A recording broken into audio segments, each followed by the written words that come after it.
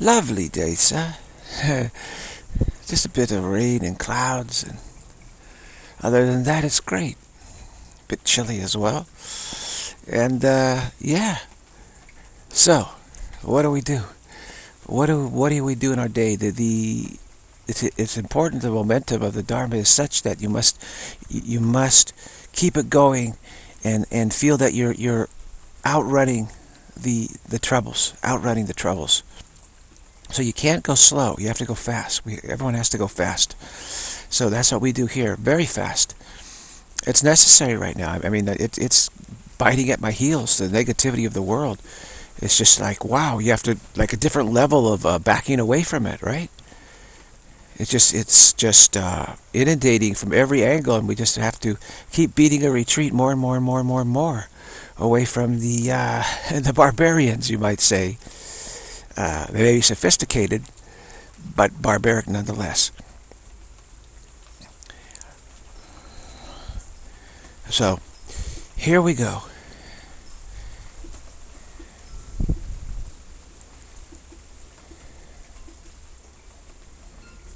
So how do we stay ahead of it all? Well, we have to resort to some pretty extreme means, actually. Uh, extremely effective means. In, in the 60s, how did the hippies try to avoid the thought of a future as, as a corporate uh, robot, right? Which is what they were looking at. This is the job market. This is what you're supposed to do. This is how you're supposed to fit in. And they say, "Wow, I just, I just can't, can't do that." Uh, well, as Timothy Leary said, tune in, turn on, and drop out. so they tuned into the scene, they, they turned on with drugs, and they dropped out of society. And that lasted a little while. But what they would do was they would pop their LSD, or which was what they used back then, and uh, they said, okay, I took it. And they kind of sit around waiting like, uh, what's going to happen? and sit quietly and uh, have some nice music on, some food, and they'd be sitting there. And uh, then, boom, they suddenly realize, wow, my perception's different than before.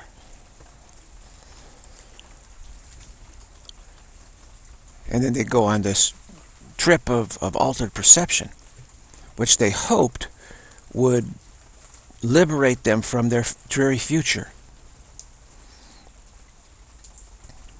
So, what we do here is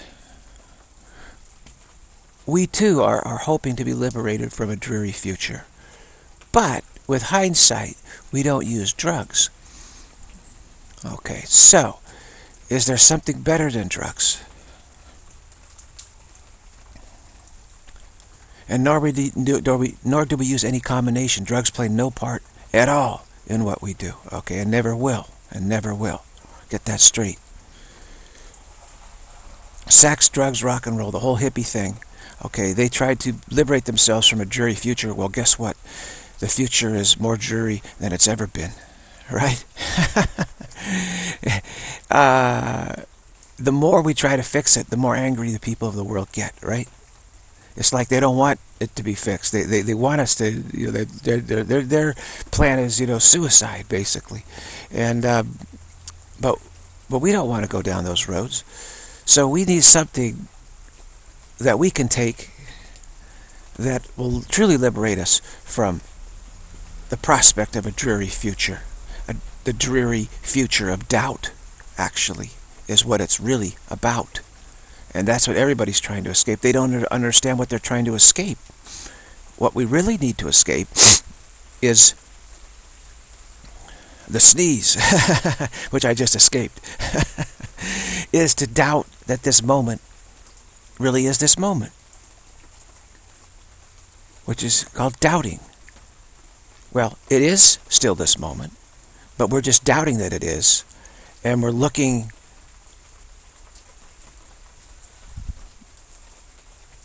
away from this moment. Where is there to look away from? Well, we, we wish that there is some place, and we and the next moment, we're looking for the next moment. But the, but when we get to the next moment, we're looking for the next moment. We're doubting each moment. We doubt each moment. That's our real trouble. That's our dreary future of doubt right there. So the cure is right within our own attention, actually. It's nowhere else, nowhere else. But, like the hippies, they were up against a mighty foe. And we're up against even mightier foe, by far, by far. They were just up against the tip of the iceberg. We're up against the entire iceberg. And the hippies are now crying, you know, oh, our trip's been ruined, you know. Uh, our trip that was fueled by sex, drugs, and rock and roll has now come to an end, you know. They're, they're like they're like they've reached some abyss, you know. The Trump is some like an abyss to them, right? It's like, oh my gosh, you know, hell has arrived. but not for me or, or those who are practicing the Dharma. It, we're not stopped in that way. We don't we don't have we haven't reached an abyss, just the opposite. We're not we're not even affected by it really, except by all the you know crying hippies, you know uh, that that think that their their trip has now turned into a bummer. You know, well, it was a bummer from the start actually. It was a bummer from the start. Don't blame blame Trump for your drug taking you know, it was a bummer, bad trip from the start. Absolutely it was. Where are the results? You're sitting there crying now. You know, they're sitting there crying.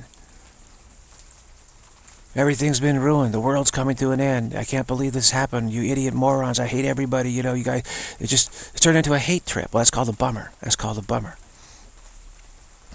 I'm not on a hate trip. I'm on a clarity trip. So, I was able to survive the last eight years, which is, you know, the, the biggest political bummer in history, and thrive the entire time. Just paid no attention to it, and just stuck with, you know, daily dharmic practice and focus. So it's a great opportunity for all these aging hippies to, uh, you know, let's let's see some uh, discipline here. Or has drug use destroyed that. So, or, or at least made you feel that you're justified in not doing it, is the question. So let's see some discipline. Let's see some dharmic discipline where you, you turn within and realize it's all about your attention. Where do you put your attention? Is it is it on th this moment or is it on doubting this moment? That's there's no place else our attention can be on, actually we either have our attention on this moment where we recognize the absolute indescribableness of it, or we put our attention onto doubting the absolute indescribableness of it, doubting the absolute freedom of it. This moment is absolutely free. So we either recognize this moment is absolutely free, or our attention is on doubting it's absolutely free. And so if you could just please hear this out of compassion for yourself, that does not reason tell you that this must be so?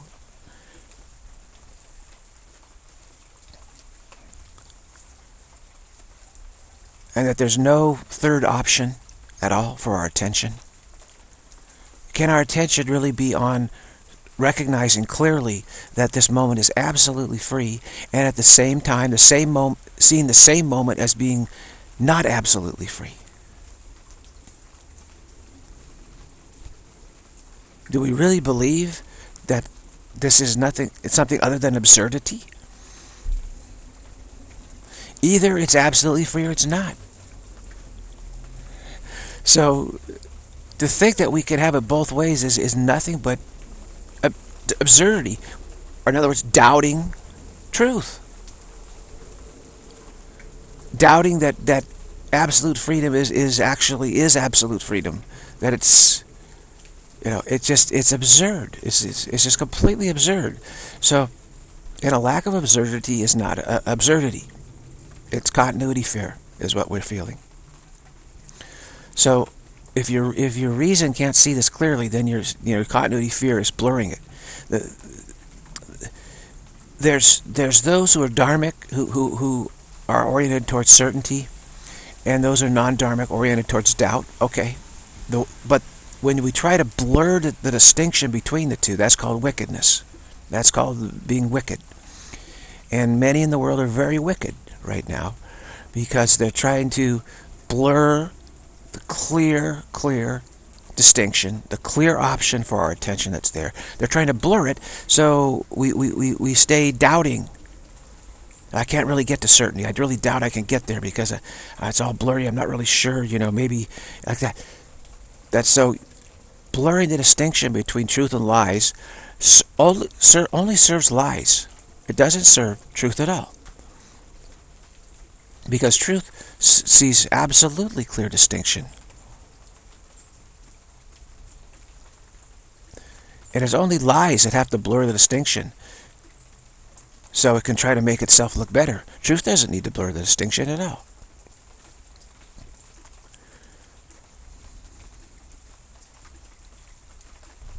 So we have all these aging hippies, the boomers, and their offspring, their spawn uh, uh, of haters, you might say, thinking that, you know, that sex, drugs, and rock and roll should bring you happiness. And if it doesn't, it's Trump's fault, right? Perfect scapegoat for the boomers. The reason why their, their, their trip failed was Trump's the reason why it failed. The reason why they, you know, frittered away their lives with sex, drugs, rock and roll, materialism, was it's it's because Trump. It's it's his fault. It's not our fault.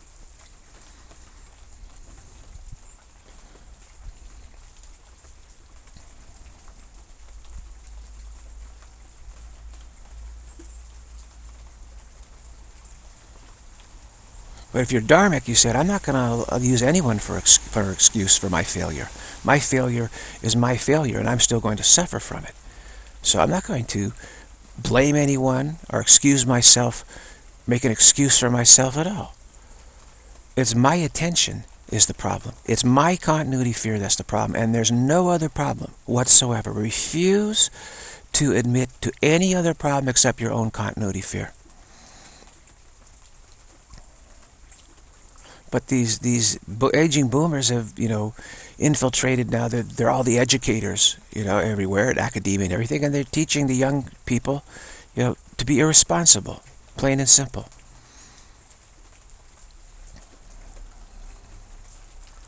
Dharmically irresponsible, very much so. And they're teaching them to be self-righteous, entitlement brats. Very true.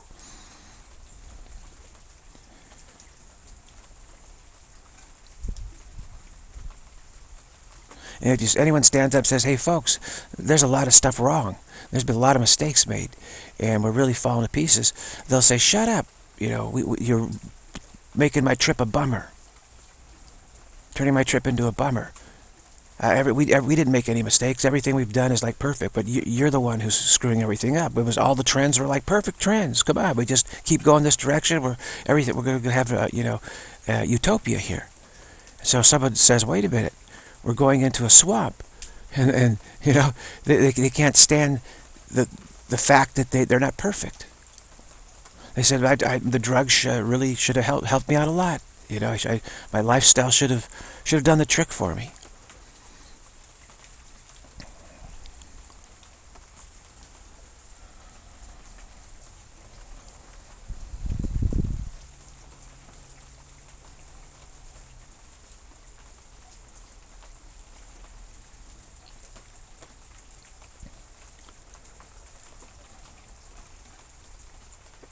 So what do we need to do so we don't end up making the boomers into an excuse, right? We can't sit around using them as an excuse.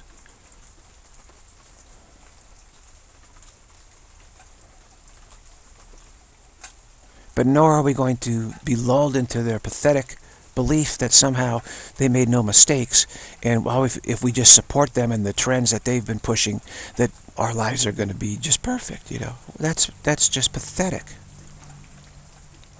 they made tons of mistakes their continuity fear was extreme as is everyone's Everyone's continuity fear is extreme. Only the ones who are humble enough to see this and realize they have to get to work on it, and it's a lot of work, they're the only ones that ever go, going, are going to succeed. It's called repentance. You can't just think, realize you've got some severe problem and then take drugs and think that's the answer? Because it masks them maybe? Try you try to mask them as if that's somehow the answer? That's that's like saying well the problem is so severe I can't fix it. So this is the best anyone can do. That's ignoring the dharma the history the great history of this world. It's completely ignoring it which is what? An entitlement complex. Those who ignore facts believe they're entitled to do so. At least they tell themselves that and the dharma is being so ignored here it's just extraordinary it's just uh, uh, virtually unbelievable how far we fall, and who can who can reset it? You know, I, all the work that's been done throughout history seems to now just have have crumbled in a short time frame. The discipline, the humility, the real realization. I have to spend my whole, whole my entire life working on this as much as I can. Now, let's cut the boomers a little bit of slack here and their offspring. those who followed it in, at, at their foot in their footsteps. Part of the problem we have run into here in the world, and it may be a, a big part of the problem, I, I don't know, but it's that we're all living almost twice as long now as we used to. So it's pretty easy if your lifespan is like 40 years old, which the lifespan back in history used to be like 30 something, 30, and maybe 40. They said, wow, we're living really old. We're living to be 40 now. And it's, it's inched up more and more. And now, you know, it's, it's like you think, well, I'll make 80 easily. I keep meeting people in their 80s. They're like going just great. And they're, they're going to blaze in their 90s. Some people in their 90s are still going great. And so we're all living virtually twice as long as the previous expectancy, okay? Now, if you're thinking that you're only going to live to be 30 or 40, you know what? it's not such a big deal if you start meditating like at age 20 or something and say, well, you know, I can spend like 20 years meditating, and, and that seems like a really long time, but, but my death is coming quickly, so I better do it. But if you say, well, I'm going to live to be 90, when you're like 15 or 16, say, I got started when I was 12, full on, really, really strongly. But if you're thinking I'm going to live to be 90, 95, and someone tells you, well, you got to spend your whole life at, at, this. Are you really going to do that? Or are you going to freak out? So, you know, I'm just admonishing the world and boomers, but, but in doing so, this realization just came into my heart. And, and we need to all look at this here, because I believe this has played a profound role in our troubles. For instance, Shankara, back in the day, told everybody, look, you should just look at it. Your life, you're going to be spend your whole life on the spiritual path. And we think, wow, what a commitment. Well, they'd live to be 35 or 40 years old. Maybe, you know, the medium age, you know, they'd be cut down by illness at some point.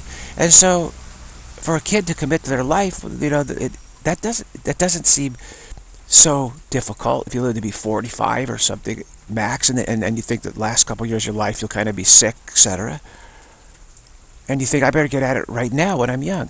But if you tell, again, a 12-year-old, like, you living to be 95, commit your whole life to the spiritual passion, that's just too much. We, we can't handle that. We can't handle it. So I, I understand that. Um, and so I believe this has caused us to freak out. And I, am one of the few who, who has done it just because I, I was out of sheer desperation.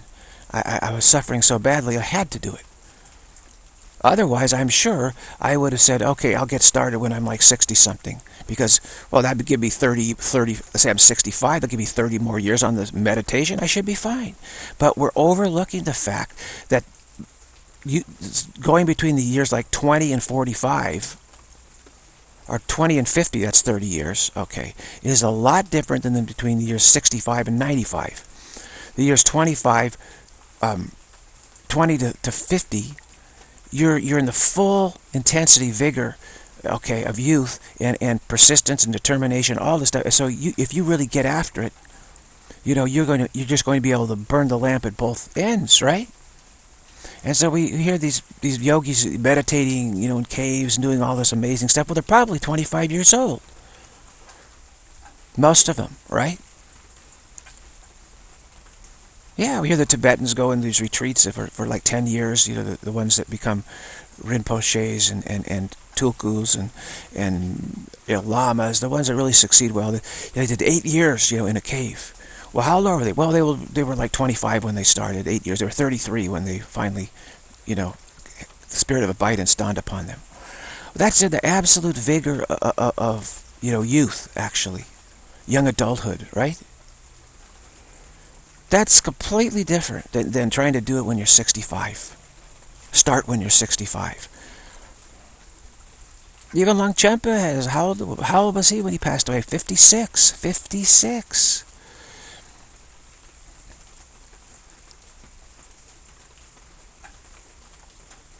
For us, 56 it's like, well, maybe I'm going to get started on the path. You know? But then all the infirmities, the lack of energy, drive, the, the, the, daring, the be able to you know bounce back from all sorts of difficulties and stuff, it just isn't there. It isn't there, and so we just say, "Oh God, I got to take medications," and you know keep. So I really believe the life expectancy thing has has really severely damaged the Dharma. The whole, the whole thing is messed up. And you just don't see young people committing anymore. Look at the vocations in the Catholic Church, for instance. Almost non-existent. Especially like in Ireland, there was like zero recently, I think. One or zero. Where it used to be, you know, every family had someone in the priesthood there in Ireland. Because now they're thinking, why should I commit when I'm just a teenager to get into the seminary when I'm going to live to be 95? I don't want to be a priest for 80, you know, 70 years. Now, back in the day, they said well, I'd be a priest for maybe 15, 20 years. If I live a long time, maybe 30. But, you know, it's completely different.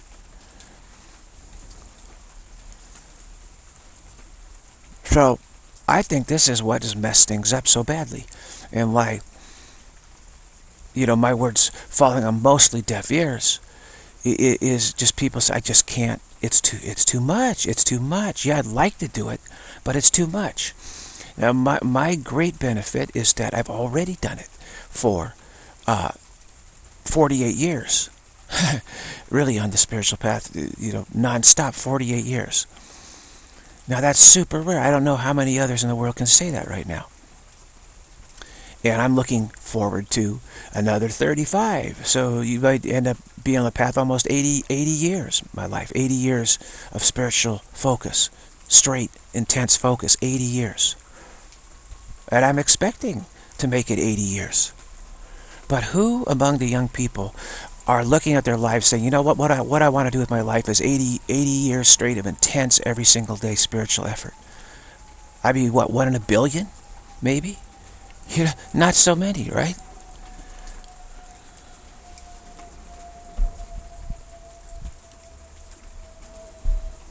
Uh, spiritual life for me is, is absolutely unthinkable.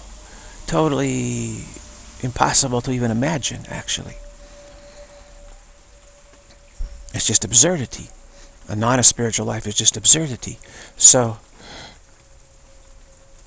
but there's so many distractions now, and we're pushed in so many directions. And I recounted the story of all those nuns, young nuns, getting started out with their vocation early in life, which is a super great thing. And then Bobby Kennedy came along and said, hey, you're all in the Peace Corps. That's where it's at. Go save the world. And they all abandoned their vocation and probably became feminists. Uh, who are looking now to, for the world to provide them a, you know, a, a nice, beautiful retirement in Florida. And if they don't get it, it's Trump's fault. You know, that's where they're at. So where's the Dharma? You know, it's, it's a tragedy that, that my generation, I don't know how many of my generation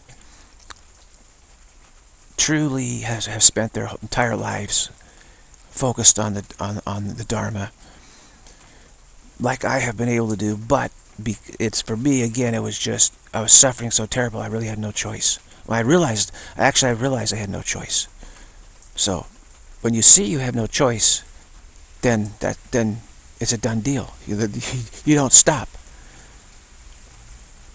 Because I realize the, the, the, the plan of the continuity fear gives to us is totally unworkable, totally impossible, and totally absurd. And that's it. That's its plan is mental chaos. And it, it, keeps pushing us towards that. That's the only card it really has to play. And it disguises that as long as possible so you don't abandon. You say, wait a minute. But of course, continuity fear is not some entity or anything. It's our own fear, our own jitters. But that will lead us to mental chaos. And at that point, you realize that'll never work. It'll never work. You could you, you experience it. And then you realize I have no choice but to overcome continuity fear. That's it. Have to push all the way until it's gone and then you just get down to business. It's like you're a business person at that point. Now, business people can stay in business for work in business their whole lives, right? Because they see value in it. There are a lot of aged business people that, are, that at 80 years old, they're still going strong. Absolutely. They just love it. Every day they get up and they dive into business. They don't even want to retire. They enjoy it. So the spiritual path is really just our business. It's our career. It's my career. So I, I love doing it. Is is I'd, I'd love to go faster and get the let the you know fruit ripen uh, and drop properly. But you know that that comes when it comes. So we may be up against a um, we're certainly up against this age issue, life, life expectancy issue. See, by the time you start hitting 60, then, then you're, what, you're thinking about retirement, you're thinking about your health, how in the world am I going to keep myself going, all your friends are falling apart. This, that's not very conducive to, to, to the Dharma, okay? But if you're 20, all your friends are healthy, vigorous, and you're full of confidence, so it's a lot easier to get started then than to try to get started at 60. But most people think, well, I can, do, I can have it all. I'll just use my later, when I'm old and infirm and everybody's dying, that's when I'll try. And it's a pretty good excuse for failure, isn't it? So really, I find the selling job now to be impossibly difficult. You just can't really. Uh, I mean, with people with low low life expectancy, it's a lot easier. A lot easier. Plus, the, those who entered a vocation would get the best housing, the best food, the best health care, all, the best education, all this stuff. So it was like everybody was like vying for that. You know, I, I want to get into a monastery. You know, I want to have a monastic life because. I'm gonna have a much better life if I do that. So now, but nowadays people see like a monastery is like a cold, damp, dreary, prison-like atmosphere. It's just no fun, no nothing. It just seems horrible, and and, and nobody and people see that that there's all this good health care now and education and you know mobility and and materiality and stuff is so much more attractive. So I think the only ones who really can pay attention are the ones who are desperate right now. So really I'm only speaking to the desperate. What el who else can I speak to? I, am wasting my time unless I'm speaking to the, de to the desperate, those who are truly desperate. Now, everybody should be de truly desperate right now, actually. Because they're all going down the road of scapegoating. And there's no worse road to go down than scapegoating. Which is blaming someone else for your troubles. That just makes your own laziness, you know, much, much worse. And you become like a devil, you become very wicked when you go down the road of scapegoating. And that's what's happening in the world. I mean, I'm seeing it now, just people are just speaking up like more and more yelling, you know, my life is ruined. The world is ruined. It's all Trump's fault. He ruined the world. He ruined my life. He's going to ruin everything. He's going to ruin your life. Guess what? He's not going to ruin my life. Not in the slightest bit is he going to ruin my life. Nobody is. Nobody is. But this, as I, have spoken in years past of this, this terrible problem we're going to have with scapegoating, I saw it coming.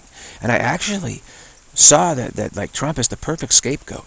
The boomers want Trump there, actually. They'll never admit it, but they're the perfect scapegoat for them. And not just the boomers and their offspring. It's like, oh, my, yeah, I'm failing because it's Trump is causing me to fail. I'm not happy because Trump is, that's the reason why I'm not happy. so if there wasn't a Trump, they'd have to invent him, basically. Now this could all been avoided if, if we would have paid attention to our spiritual life more than we paid attention to our materialistic success. But that didn't happen, did it? So that's why it's not hasn't been avoided. Now there's still a lot of strong people in the world that just say, hey, get over it, you know. Come on, let's do the best we can. And uh, that's the right thing to do. But there's a lot of crybabies out there too.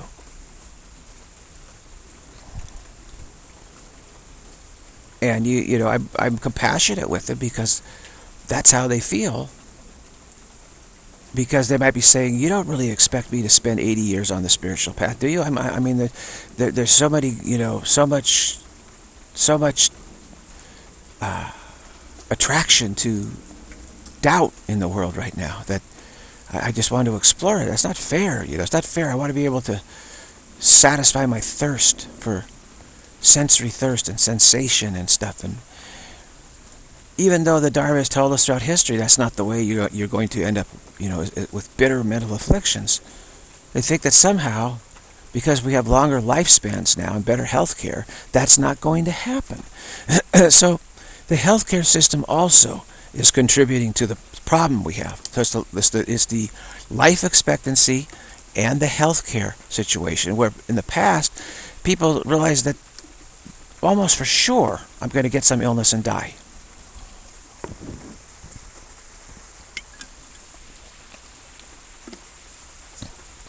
I mean, who died of old age in the past? Very few people. They were the venerable ones that actually died due to old age.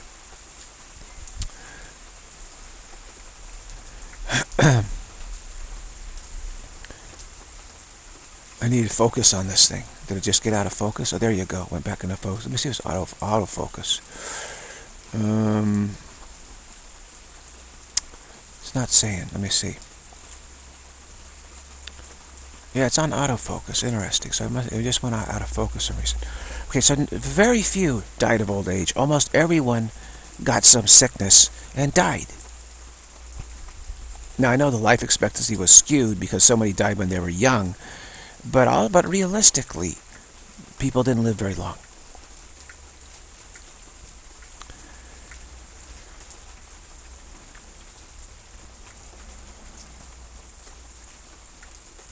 They're either going to die in battle, or you're going to die with a sickness. So this put the fear of God into everybody. I mean, people were scared. They said, "Oh my, you know, I, the, the, the, death is is right around the corner." And this sharpens your valuing, your focus on valuing, and say, "What is truly valuable?" The Tibetans use this a lot in helping out in, in their training. Is they keep saying, you know, you never know when death is going to grab you. It could be tomorrow. It could be. They keep re-emphasizing this over and over. Well, yeah, you live in Tibet throughout history. It may, it may very well grab you tomorrow. But in today's world, we all think we're bulletproof. I mean, the kids think, no, I'll never get sick. I mean, they got pills for everything. They got treatments for everything. So I don't even, they don't even fear sickness at all, basically. They just have this confidence that science has pretty much solved sickness and uh, I may get a cold or two, this or that, but get cancer, well, you know, there's treatments for that. You get with this or that, there's treatments for that. There's, you know, I'll be fine. I'll, I'll live a nice, healthy life till I'm 95, basically. So there's no fear of like, hey, my death is, may grab me at any moment anymore. And that causes one to get very, very lax and lazy. and nonchalant about it. Like I got plenty of time, you know. You know, it's, it's today's one. Today's good. I feel great. I'm gonna feel great in the in future, and so why should I really sweat out all the spiritual path when I'm gonna have a nice, happy life anyway? What's the big deal? so there again is another factor that has skewed everything terribly.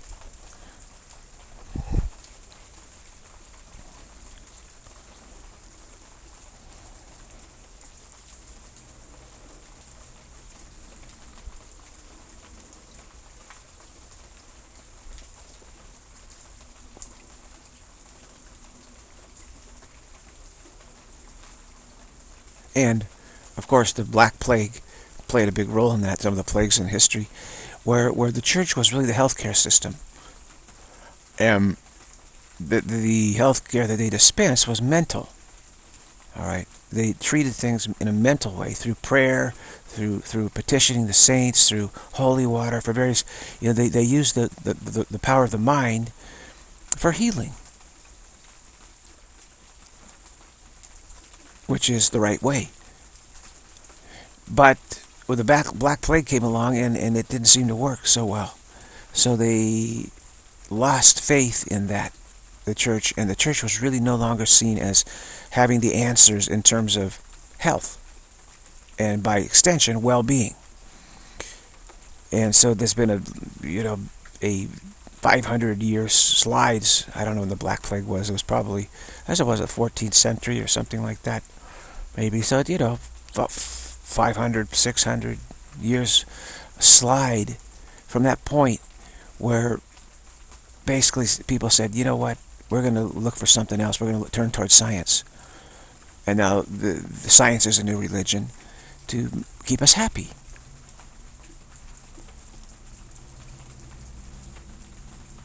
And of course, the church always said, well, if we don't keep you happy in, in life, we'll keep you happy in death.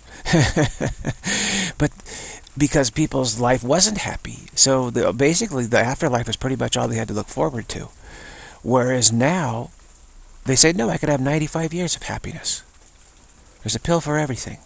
Plenty of food, too. You know, no starvation. So what do I what do I need to worry about the afterlife for? It's not important to me. Before, people were very, very concerned with the afterlife. They might die today. They might starve tomorrow. You know, it, it, and their lives were, you know, miserable, tough, miserable, difficult. And here's the church saying, don't worry. We've, we've got, we'll give you the right funeral, the right funeral rites, and this is going to guarantee you a, play, a happy afterlife. That's a pretty strong selling point, isn't it? And you can see how that's no longer a selling point to anybody. Hardly at all. It is to me, because my life's been miserable. So, the afterlife, I'm very, very focused on that. How is it, more, more, even more so, not coming back to this world. I'm super focused on that. But most people, they think, well, my life's going to be great, so why should I worry about not coming back to this world? But I'm sure that they'll have even better pills next time I come. and uh, they don't realize the slippery slope they're going down, but I sure do.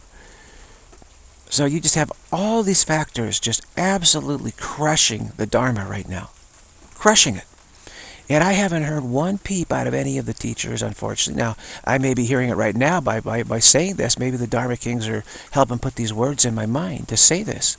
But they certainly haven't spoken out about any of this. Nobody has. Nobody has. It's the first I've even heard of any of this stuff all put together like this.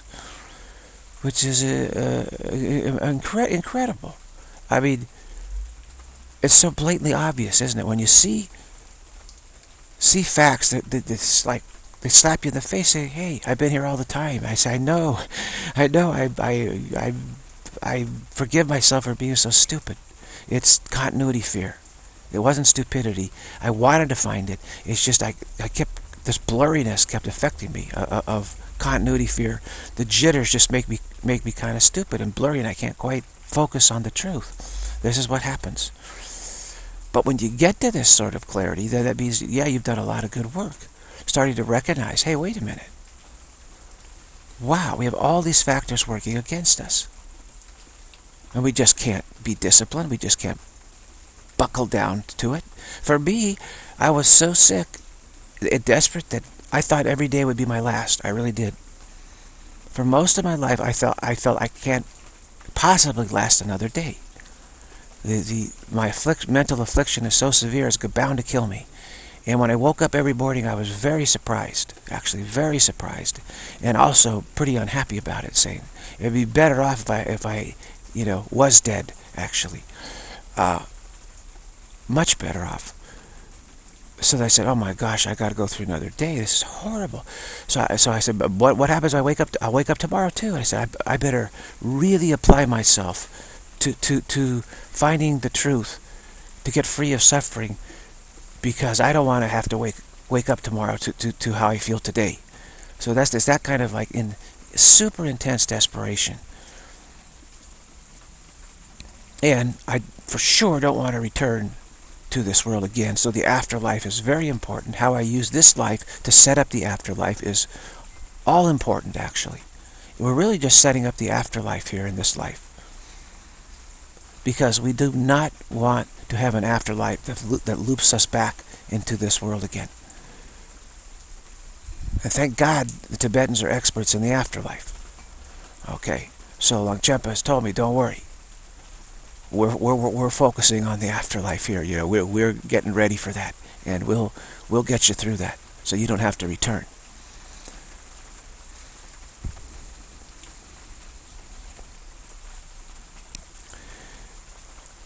So I had, you know, all these things going right for me, being so sick and poor and desperate that that I, and another, I didn't think I'd live that long anyway, so I wasn't afraid to commit to hard spiritual work. If I thought that I was going to live to be like 95, I, I, I couldn't have gotten started. I couldn't have, I really couldn't have. But it's funny because I was so sick, I didn't think I lived to be 20, and I didn't think I lived to be 30, and certainly not 40, and 60 was just completely ridiculous. I, I, I didn't think I was going to last long at all. So I said, what the heck? What do I have to lose? Let, let's get into this and do the best we can and see how it goes.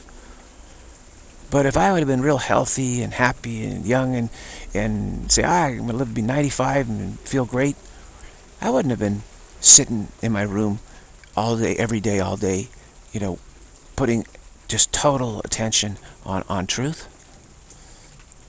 No, because I don't think it's, that's hardly possible for anyone to be like that at this point. So actually, they say that blessed are the poor in spirit, they shall inherit the kingdom. Jesus, Jesus pointed out that it's really the ones that are sick and infirm when they're young who are the most fortunate because they don't think they're going to live that long so they, they can say you know what I want to tomorrow I'm, I can't I can't bear my suffering another day I've got to put my attention on the truth and really try to get it genuinely try to get it today. And that's always the way I've been. Every single day, I, I, feel like today is the day that I have to get the truth. I have to get it today. And so that's how I uh, practice. This is my attitude. I can't, I can't, and it's still that way. I mean, I, the idea of, of tomorrow without liberation is still intolerable for me. Just intolerable. My life's still terrible, which is great. Uh, it's the great motivator and the great helper. So it's funny that that, that those who, who seem to be afflicted, especially when they're young, tend to be the fortunate ones. The blessing of bad health and, and poverty is like is a super blessing in, in my life. It's been a super blessing. Because even when I've, I've gotten to feeling better now, um, I'm no, by no means am I completely well. I'm still get tired. I don't sleep well. I still get tired and just I'm just not as you know vigorous as I should be. But uh, but the poverty thing is great because even if I feel better, I can't do anything. Can't go anywhere. So I just continue to spend all day, every day, just as much as I can, focusing on truth, liberation.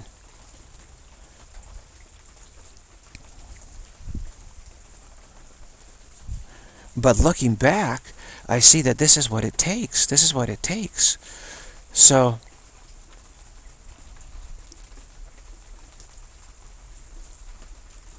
I just accepted my troubles. I said, well, let me make, let me make lemonade out of them. Let me use this to my advantage. So I got to study A Course in Miracles 14, 16, 18 hours a day for, you know, 10 years straight because I was so sick I couldn't do anything other than that. Pretty nifty trade-off, huh? So the world, you know, passed me by and uh, I didn't, but was it the world passing me by or was it me passing the world by?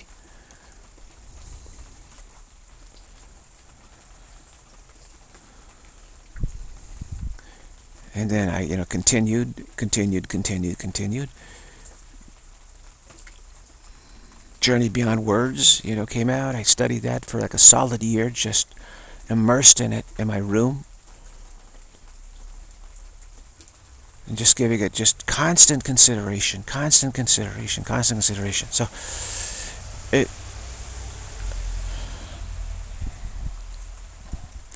and didn't get married till I was, uh, I don't even know how old I was. I was like maybe 47. Got married when I was maybe 47. Um,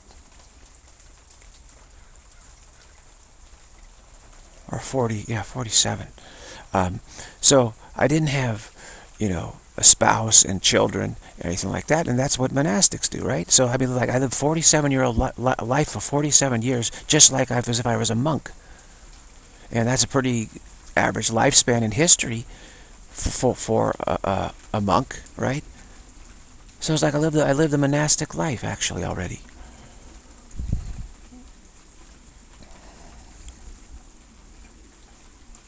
So I was not bothered by all the problems of trying to raise a family, etc. Earn a living, raise a family, do all this stuff. So I really lived a, a great monk's life because I was so ill.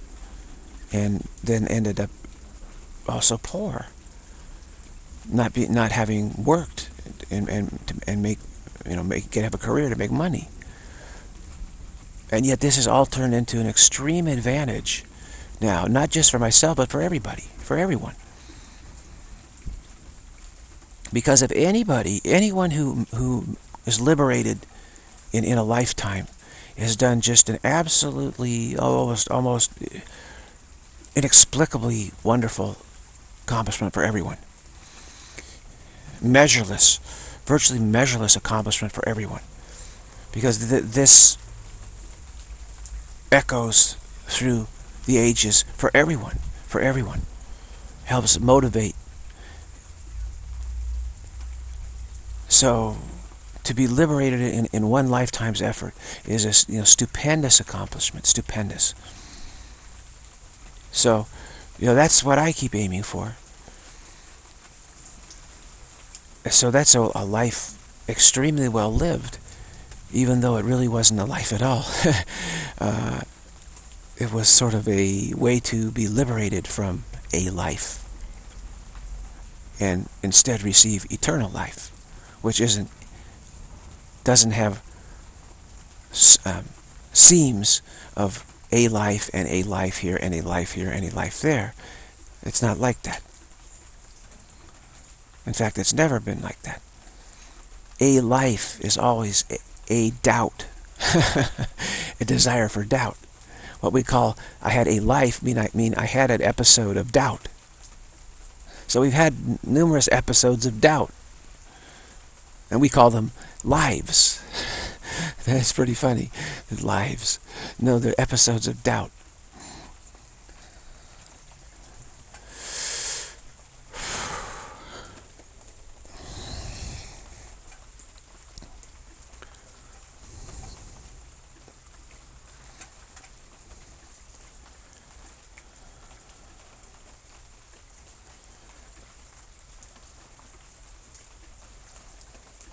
So I can see how all these trends have just pretty much people have just lost interest in the Dharma, and now it just becomes like a self-help book, self-help book kind of thing, like some like folk wisdom kind of thing, like you know maybe if I read this book, that might be make me feel a little wiser or something.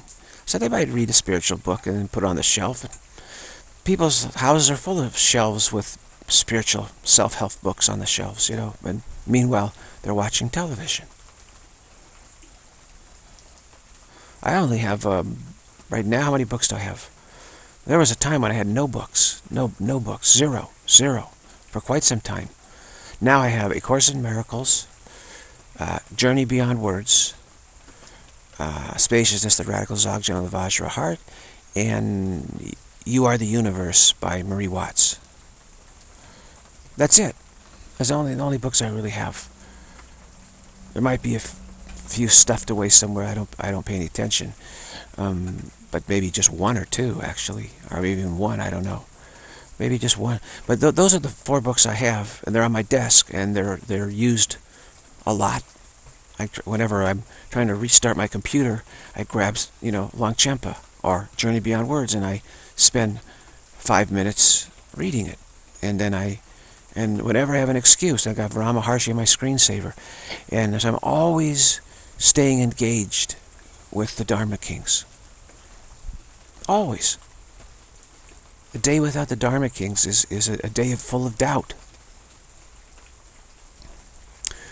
Rain is still coming down. It started, kudos to the meteorologists. They said it would start at 11 o'clock today. And it I started hearing some rain. I looked, checked my watch, 10:58. okay, so they were, and you know, by 11 it was it's it is was really starting to come down. So give them an A plus for that one. And then they said it would last to about six o'clock. I think it into the evening about about six. Well, what time is it now? Uh, it's 5:38. So, and so far it has lasted steadily. steadily. So it's been a six and a half hour rain. It may end up being a seven to eight hour, who knows how long it'll go, but it's been very steady, hasn't stopped all day. Well, that's going to produce a lot of moisture in the state for sure. It's never been a heavy rain. It's not a thunder shower type of rain or a deluge, tropical deluge. It's just a relentless, moderate rain. That adds up too.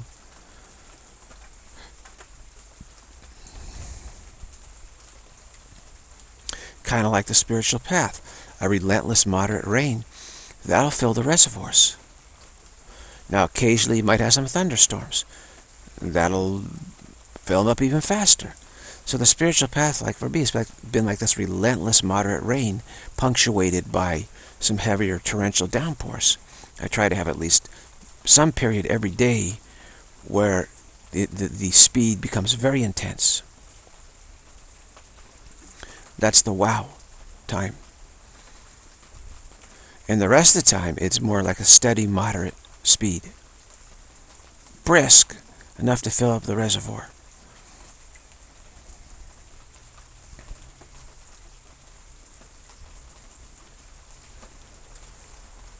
So blessed are the poor in spirit. Jesus said a lot of, a lot about, seemed to keep indicating that you know what, if if you're bad off, in this world. You're, you're, it's a great opportunity for you, actually. In fact, you're the fortunate ones. It's the ones that are super healthy and vigorous that go out and say, you know what, I'm a world beater. I can make a fortune. I can have more vineyards than, than you. And I make some great wine and, and have many children and grandchildren and uh, be a, you know, donate to great charitable works and, and I can, you know, do this and this and and uh, they never spend a moment on the Dharma in their whole lives, but they think they've had a super successful life. But from a dharmic standpoint, they've had a super failure of a life. They've had a episode of doubt. They've had a severe episode of doubt. And the Dharma is just not respected anymore in the world. It's just not respected the way it used to be for the many reasons that I've just enumerated here. The longevity, the lifespan, the healthcare system.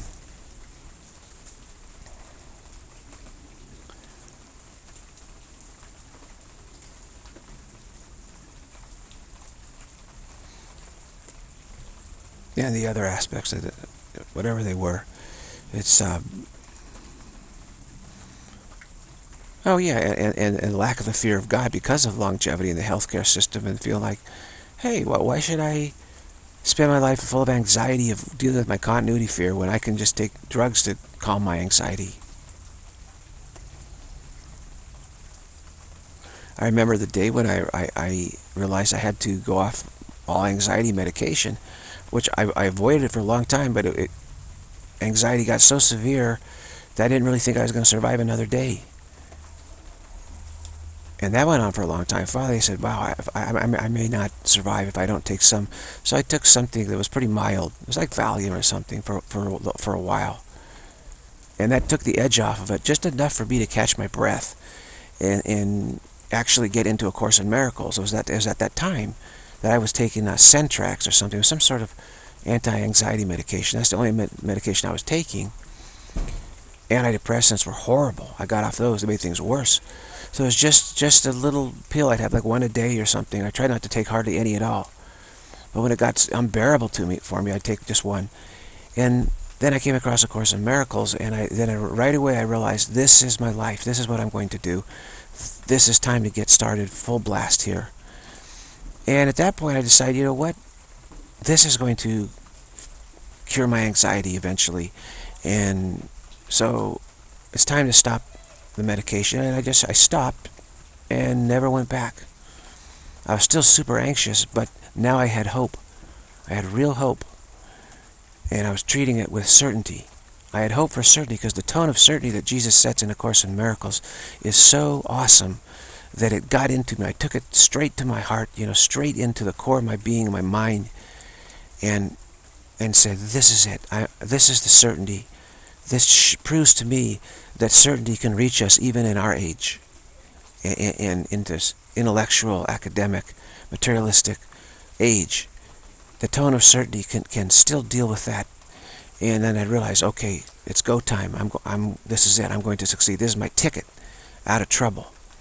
So when you get a ticket out of trouble and you're in big trouble, you know, you, you, you just take it seriously. I, I, I, I took it and still take it very seriously.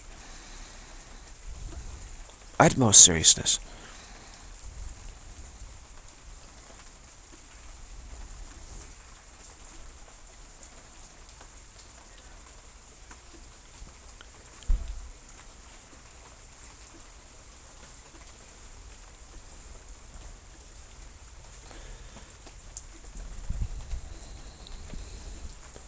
So we can turn to the Dharma when things get desperate enough. I realized, hey, I really, you know, this this is this is what's going to ultimately cure me. So I better start taking that medicine instead of pharmaceutical medicine, which I knew was a, was a dead end for me. It's a dead end. Nothing's being cured, actually. There was no cure. They, they said there's no cure for you. I was told there's we have nothing for you, no cure. You're never going to get better. And I found A Course in Miracles, and I said, guess what?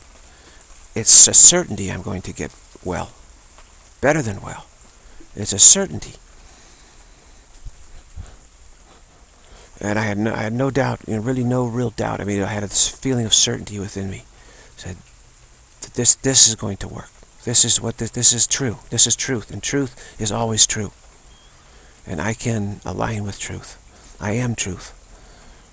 I'm just overlooking it, doubting it, trying to doubt it. We're all truth. That's all we are. We're truth itself without a second. There is no opposite to truth. So we're not even a concept of truth. We're just perfect without a concept of perfect. We're just blissful without a concept of bliss.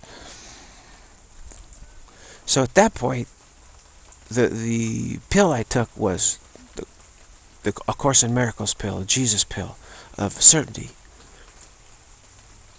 Now, almost 40 years later,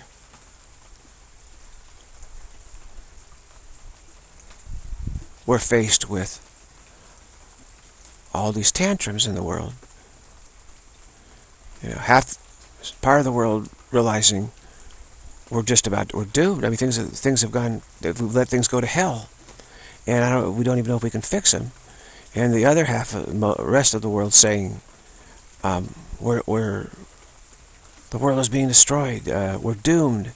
Uh, these attempts to fix fix the you know fix what's wrong are, are like are going to kill everybody. They're horrible and they're they're tantrums, total tantrums. So you get you get that. You get this feeling of like it's it's too big of a job, and then the rest of everybody, everyone else is hysterical, having tantrums. It's not a very congenial place at the moment. So it's like everyone has sort of beset with a lot of anxiety. Almost almost everyone I come across uh, in the internet, everywhere, is saying, you know, this, this is really a downtime. We're just feeling kind of lost and, and not sure what to do. This is really, it's a downer. It's a bummer. Everyone's on a bummer. So what, what, what, what drug do you take when you're on a bummer? What do you take? What pill do you take? What do you take now? Now, uh, A Course in Miracles got me this far. But at this at this point, you know, I may take a little extra medicine. okay. I'm still taking A Course in Miracles medicine, a lot of the Dharma King medicine. Uh, but is there something even stronger? Now, nowhere does Jesus say this is the strongest teaching possible, right? Doesn't really say that. He says there's lots of different teachings, so many. He said this might be your way. If it isn't, that, that some other way will be your way. Is there some pill we can pop that's even got more pop to it? Or it, it augments or, or is sort of a catalytic also. It, it, it, it all, Dharma Kings seem to be catalytic to one another. This is what I found out. So what pill can we take? What pill can we take? My back is hurting for some reason. I, I don't know. Just sore. Um,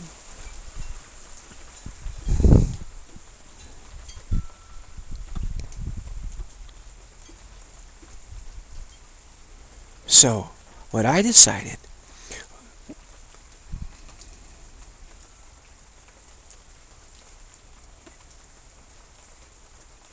And I sort of feel like this is the 60s all over again. And this the underground scene, you know, in the Bay Area. And everyone's looking at everyone else like, what do you got? What are you holding? What do you got? That's true. That's the way it was back then. It's like, you got something good? Everybody was self-medicating. You got something good? And so people were, we judge people by what what their stash was like, so to speak. Uh, are they did they know somebody, and did they you know did they, and if somebody's kind of like confident, you know, it turns out well they found some really good stuff or something. Uh, it was weird. The whole drug scene, which was the 60s, it was a drug scene. Let's especially the Bay Area. Let's face it, was uh, the big shots were the ones that had the right connections and they had better stuff than everyone else. And so people looked up to them like, oh, you must, you must have found the truth. You're, you're more tuned into the truth than I am because your drugs are better than mine. literally. I'm telling you, literally, it was that way. It's not an exaggeration. And the, the boomers who are older than me were the ones who were really heavily in the drug thing. They could afford it, right? So they could afford this, this stuff. The other, yeah, I was up in Berkeley. To, um, I was at the weekend in Berkeley. Yeah, I really got met some great stuff. And they really turned me on. I was able to get this really incredible stuff. And and then everybody's like, oh my gosh, you know, you're like so much better than me. You're so fortunate, man. I'm just like an ignorant idiot compared to you. You know, you're you have you have the ticket to nirvana. You know, and I don't. And so they were idolized. You know, these these people who, yeah, I was up at City College in San Francisco and spent some time with these chemists. You know, I, I introduced to some chemists up there, and then blah blah blah blah blah. Yeah, I went to the, the you know concerts up there and met some you know met some guys that really had some great connections. Blah blah blah blah. And so everybody is looking for a better connection, for something that actually worked. Of course, nothing actually worked, but everybody made you think that their stuff was working better. You know right? That's the drug scene. It's horrible. Their stuff must be working better. I tell you, the whole drug scene is hideous. Hideous, hideous, hideous. It really is. Paranoia, competition, inferiority complexes, you know, rule the day. And uh, it's...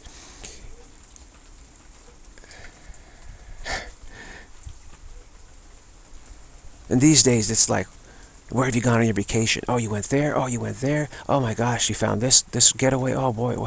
Oh, you're so much better than I am. You're you're you're you know finding peace of mind so much better than I am because you're able to afford to go all these places. Oh, oh boy, you're great. This this that sort of thing. But but then it was this horrible drug scene. Or also, it was who did you trip with? You know, what people did you trip with? Oh, you you, you met so and so. You know, oh really? And, and they, they know they know they know some spiritual teachers. Oh, and you you turned on with some spiritual teachers, or you, you or somebody that knows them or something.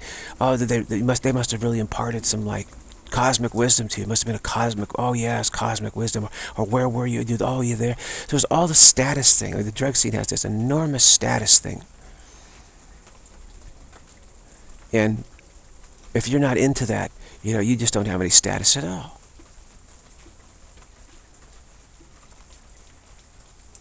They just think that you're, you know, complete loser. Total loser.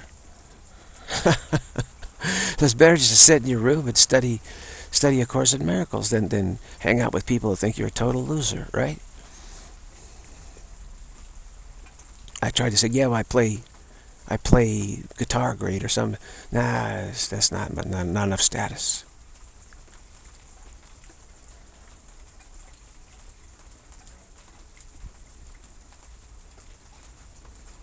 It was all about who did you do drugs with, what kind of drugs did you do, and then did you like meet a spiritual teacher, you know, that was like, then you understand the cosmic wisdom. Oh yeah, we, we spent some med time meditating, you know, with this teacher out there by the seashore, and uh, it was completely cosmic, and uh, we realized that they were all one. uh, and then you thought, oh my gosh, they're like so superior to me, so superior. And then now, later on, you realize it's such BS, you know, they're such posers.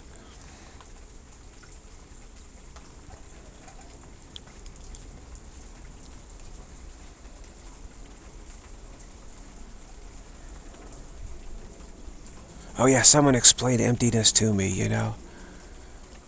And indeterminatism and all this stuff, they explained it to me. Wow. Now I understand what it is. Explained it to me.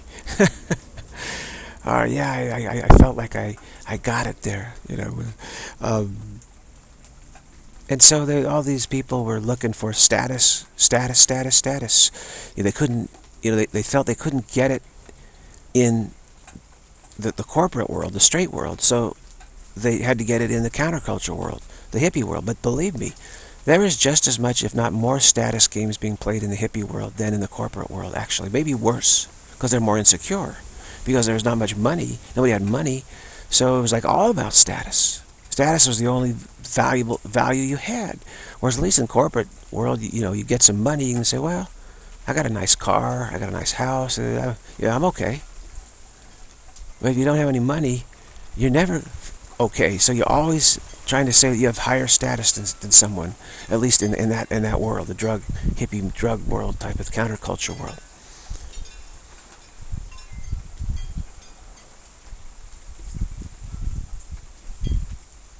I know all this stuff. I know these all this and this and this, but you know, are you practicing every day? Are, are is is it your life's vo vocation? Are you completely desperate enough to just do nothing but work on experiencing, you know, abidance, spirit of abidance. Now, They got some party to go to. And they got some trip they got to take. Oh, we gotta, we're headed out this way. We're headed here. Gonna head, head out and meditate at Sedona for a while, and then we'll go there. And they meet up, meet people there, you know, and, and just. But I mean, here, well, we're just grinding it out every single day. All day, really. N not doing anything else. I mean, really, not much. I, I try to maybe go an hour from here or something, or occasionally take a video of the ocean or something. But even then, I'm grinding it out all day. So it's more of a very much monastic type of life. Which I say is, is really the only way to go, actually. But again, these days, nobody can, for, can see themselves spending, you know, 80 years of their life in uh, what seems to be like a prison. Right? You can't, you don't go anywhere, you don't do anything. You just sit in your cell and read books and say prayers and contemplate and um, that's terrifying to most people. You know, some people say, maybe I can take five years of it. That's that's a huge, huge commitment. Ten life seems like an eternity. And that's you know a lot of times that's what people did. They they go retreats and they, ten year they don't do it for ten years and that's it. But you know, for me, that's just getting started. You know, ten years might be give you like a, a bit of a start, actually.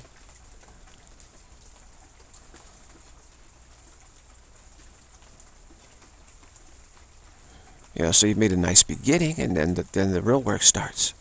The next 30 or 40 years is what you, what you have to look forward to.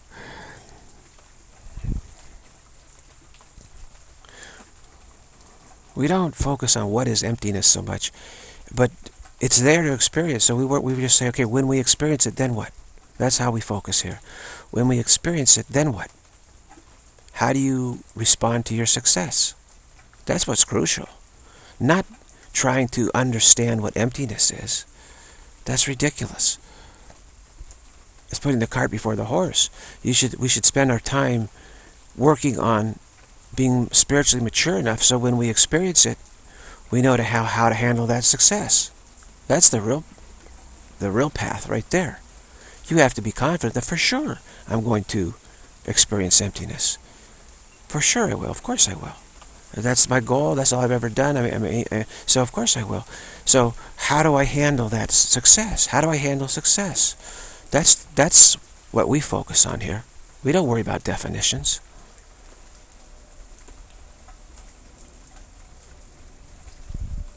But people are in so much of a hurry, they want a definition. They say that will save me time.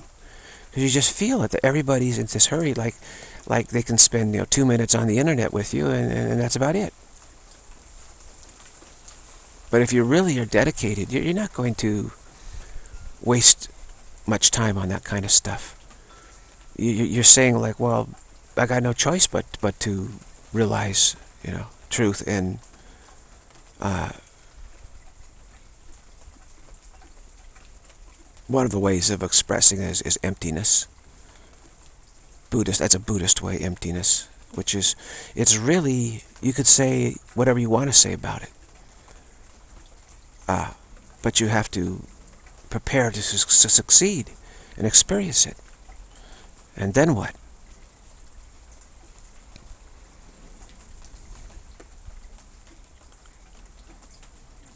Emptiness, you could say, is just the total absence of doubt from this moment. This doubt, is, this moment is totally empty of any rootedness at all. It's totally empty of any doubt at all. It's totally empty of any time, space. It's totally empty of everything that we imagined, we wished was in this moment.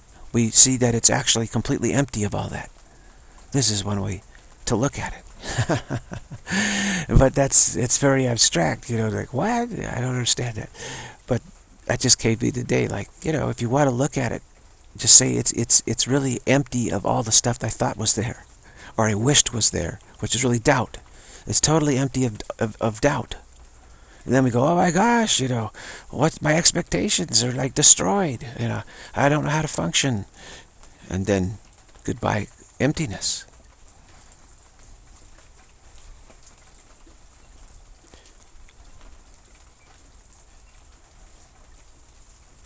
So much stuff in the world is geared toward glimpses because, again, of, of these biases we well, these troubles we have with, with, with age span and health care, we think we're going to be happy and healthy for 95 years, and we don't have, we don't, we're not concerned about the afterlife. We're not concerned about the fear of God pressuring us now.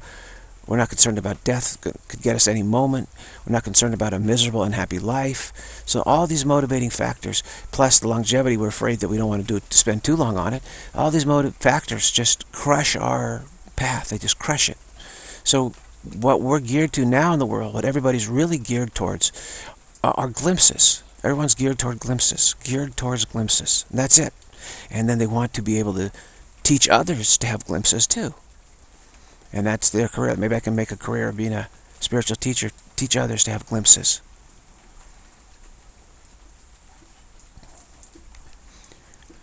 But that's really glimpses.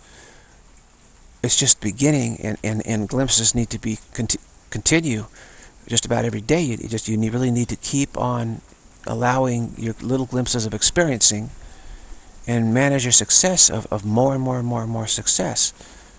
You don't just aim for like a glimpse in your life. Like I had a I had a glimpse of emptiness in my life. So, oh wow, that's you're so fortunate. What great status, you know.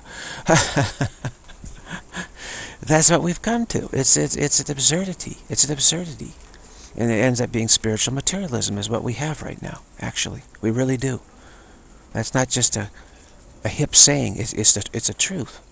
We live in the age of spiritual materialism, where people think that having just a glimpse of something, a short glimpse, that's fulfillment. Their life is now fulfilled, and they have that, and they also have their, you know, million plus house, and nice, nice, you know, Land Rover, and uh, they're vacationing a lot. That that that's you know, they say my life has been a success. I have I, I nothing to feel bad about.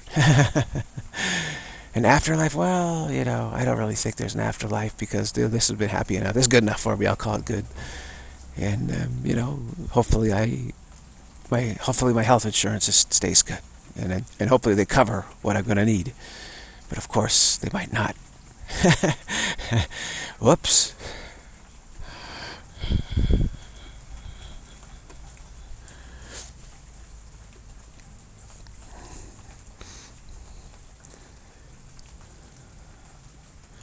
So it's it's you look at it differently when you're committed.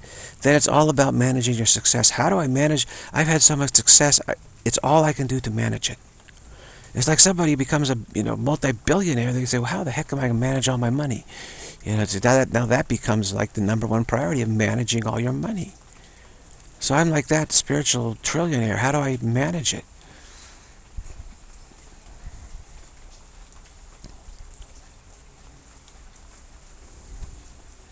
So the insights have come come to me, but then I, for me, I say, okay, well, but you know, let me. How am I going to manage my expectations? You know, and uh, wow.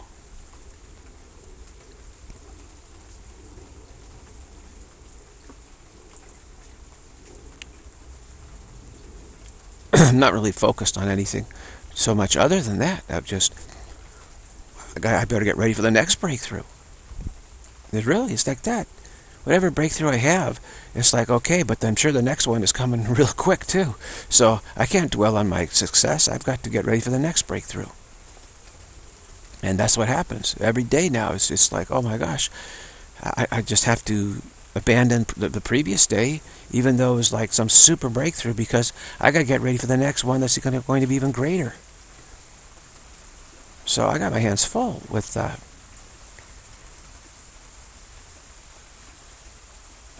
It's coming down now, isn't it, the rain?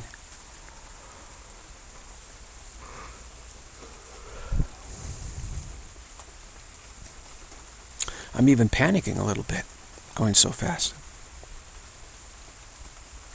If you have body thoughts, you, you can be sure you're panicking. If you have dreams, you know, of other uh, type of attraction to bodies, you're panicking. You're panicking. That's panic. So if you see someone and say, oh, they, that someone looks kind of attractive or interesting, that's you're in a spiritual panic. You're in panic. Because when you really are blocking panic and wowing, you're, you don't feel that way at all. You're not even interested in looking at people at all. You don't. You could care less. It's not even an issue. So, if any little thoughts creep into you about, you know, looking at bodies, looking at people and stuff, or are they're looking at their personality or anything like that, that's panic. Need to recognize it and be compassionate, but say, wow, I need to block that panic better.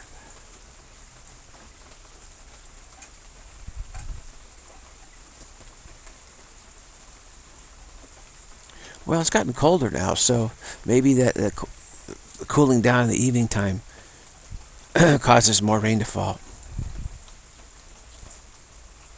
Cold air, of course, holds less moisture.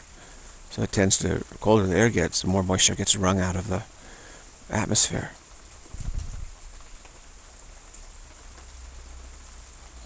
Rain is still uh, quite amazing, isn't it? Really. I still marvel. How is it possible that all this water comes out of the sky? You know, it just doesn't seem possible. And it has to do with the tremendous capacity of, of, of atmosphere to hold moisture. I don't know how it does it, but it does. You think this rain's very heavy. I mean, water's super heavy, right? It is.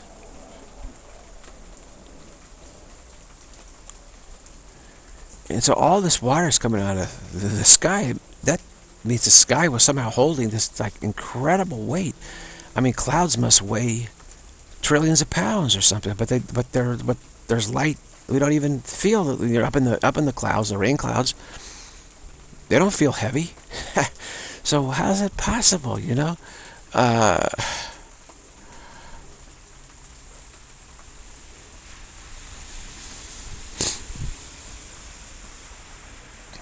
a low pressure system. Low pressure means what? The air is light. High pressure system, a lot of pressure means it's full of moisture. It's pushing down. So, I don't know how it works. Exactly. It's kind of a mystery.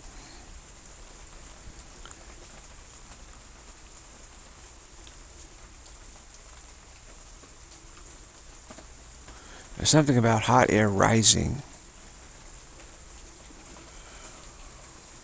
Not sure how that, why that is, but um,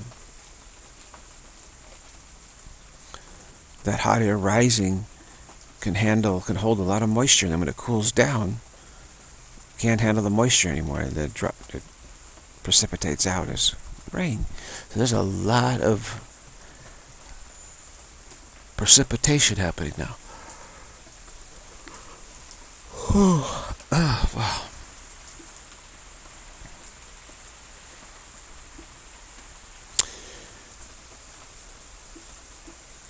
So back to, we were talking about the drug culture, what they took to try and escape a dreary fate. And also, I believe that the shock of, of the boomer generation they became so activist because they realized that where they're going to live to be really old with really great health care and it's not going to be just a short life. And so they said oh my gosh i don't you know that's freaking me out. What am i going to do my whole life? And they saw their parents just kind of being these corporate robots and the parents are very unhappy and kind of in some ways and because they were living longer. Keep in mind that like people like even my grandparents and, and even after them, like a lot of the men, you know, men died early. They'd have a heart attack in their 50s. It was very common, die in their 50s. And if you know, got into your 60s and then even in your 70s, like you're, you're like really lucky. You said like, wow, you did really well. A lot of very active men died died early, heart attacks, um, various things. Boom, gone. And the little old ladies, of course, they would they would live into their 80s and 90s, uh, as they have done throughout history. But um, but all the advances in in medicine and stuff, boomers grew up with this kind of this boom in science. The science boom happened after World War II, the big science boom, where basically said, you know, you know, we've got it we're going to find the cures. We, we really believe they would find a cure for cancer, for heart disease, all this stuff. The boomer generation really believed in that, really believed it. So that meant that, like, wow, we're going to have to find the secret to happiness. Otherwise, we're, we might we're going to be unhappy for, you know, 90 years or 80 years, whatever. That's pretty scary, isn't it? So they, they felt like we got to find the secret to happiness, and yet we don't want to to lose our happy life by seeking for the secret of happiness. So they wanted a spiritual teaching that told them, don't worry, you can be happy and also be enlightened, which, of course, in Miracles says that, basically. But Jesus also is more realistic about it too. Uh, marketer, telemarketer. Um, I think he had to sell it that way. But he says he also says, look, you're going to have ups and downs. You're going to plateau. It's going to could take a long while. And then but but he he keeps a very upbeat tone throughout it. Like, sure, there's a way to live your life very fulfilling, happy way and still be enlightened. That's the message of A Course in Miracles. Now, I don't buy that, actually. Uh, maybe there is, but I don't see it. I don't quite see it that way. Uh, the the continuity fear just makes it tough. It just makes it tough. Now, I say I've had a fulfilling life, but it's been super tough, brutal. It, hasn't been fulfilling as far as people and friends and career and world at all, not at all. But it's been fulfilling because I feel I can get, I'm getting free of all that. That's why it's fulfilling. But continuity fear, you know, it, it, it just will, will put slam the brakes on you if you don't really work at it constantly. But the selling point of A Course in Miracles, given all the parameters that I've mentioned in this video, had to be you can have your cake and eat it too. As far as you can have a very happy, fulfilling life and still reach liberation. And again, for me, I just said, well, you know, I, whatever. If that happens, great. If it doesn't happen, I'm still, you know, I'm still going to work just as hard. I, I'm not counting on that, really. Because in the times I've tried to count upon it, it had never happened. It's never happened. And I know there are those in the Course of Miracles community who go around acting like they're having these fabulous, great, unbelievably great lives, happy, happy, happy, happy, happy, happy. uh, okay, maybe they're, they're, geared that way. I don't know, but uh, I, I just don't see that as as pra pragmatic at all. I, I think that's overselling it. But I understand why Jesus did that because it's better than not selling it at all. And given the parameters I've talked about, life expectancy, med science, healthcare, all this stuff, the idea of living, you know, 95-year-old life without happiness is just horrifying to us. Just scares us to, to pieces.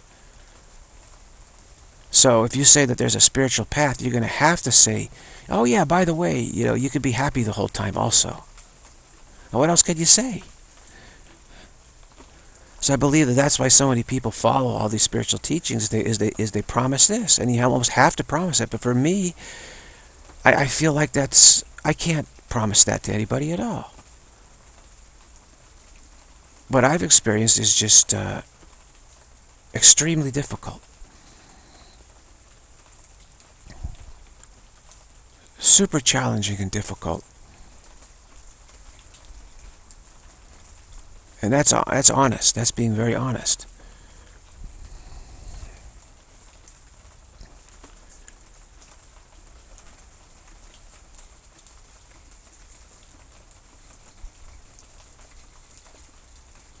But it's kind of like the, the promising a utopia. Those who you're like, oh yeah, you could you can have the, the science and the technology and the healthcare and great life and kids and to send them to college and be be wealthy and you just be, you know and a lot of those who who who who are in the course community tend to be professionals that they you know they, they've got the good income they've got the good retirement they've got the good life and and and they also have a course in miracles too. They've got it all.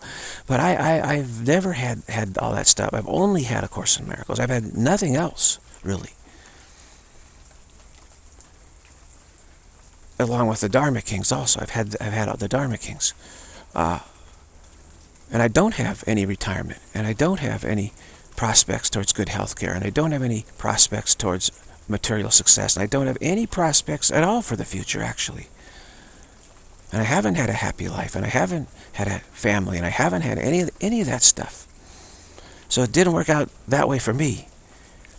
But what it's worked out for is spiritual success. So that trumps all the other stuff. So I don't feel deprived. I don't feel deprived. I feel better. You know, I'm glad I didn't do any of that stuff. You know, to heck with that. That's just all a distract, delaying distraction device. It's kind of like saying you can have your happy doubt and also be liberated from it. uh, that's quite a quite a trick to do that. But maybe some feel they're doing that. That's fine.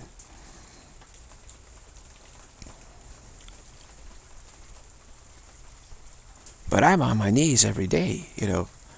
So, what do what do I do? You know, what what do we? Those of us who think like, my gosh, you know, we're we're in big trouble. We're desperate right now.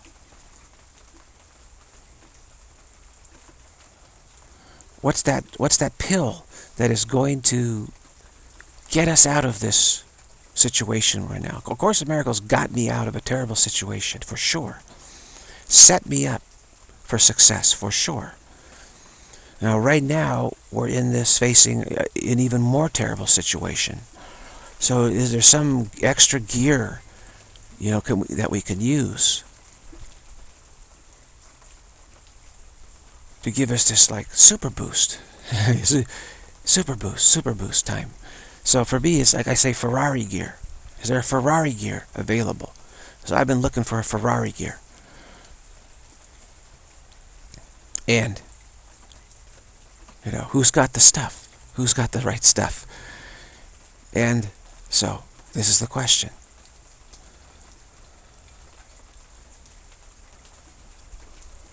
And I say, pop the Padmasambhava pill. Time to pop the Padmasambhava pill. Time to pop the Padmasambhava pill. Time to pop the Padmasambhava pill. Time to pop the Padmasambhava pill. We can say that.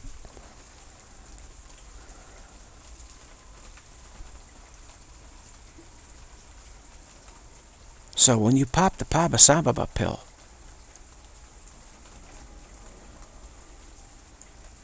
your heart starts beating faster. And you just said, wow, here we go. This should be quite a trip. I popped the Padmasambhava pill yesterday.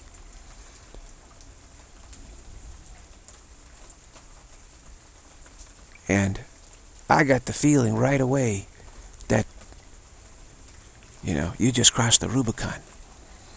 I, I just crossed the Rubicon. I just crossed the point of no return. It's too late now. I mean, you pop the pill and it's down the hatch. You know, it's too late. It's too late. what did I do? I said, no, no, okay, here we go. Wow. I got the wow with me. Me and the wow. Walking together in the wow. So we can pop the Padmasambhava pill.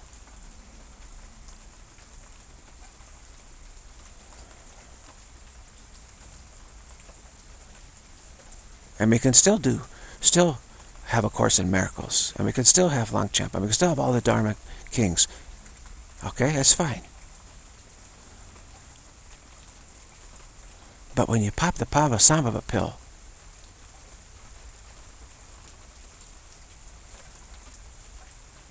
you kind of you feel like something's going to happen. You're going to be part of a happening. You might be what's happening. you are going to be a happening, you know? You will be the happening itself. And I have had just, you know, uh, unspeakable results when I bring Padmasambhava into the picture. That's why I'm kind of get nervous when you pop the Padmasambhava pill. It's like, oh my gosh. It's basically you're just popping results. You're popping the pill of results now. You're you're you're you're going you're into results now. That's a whole different story.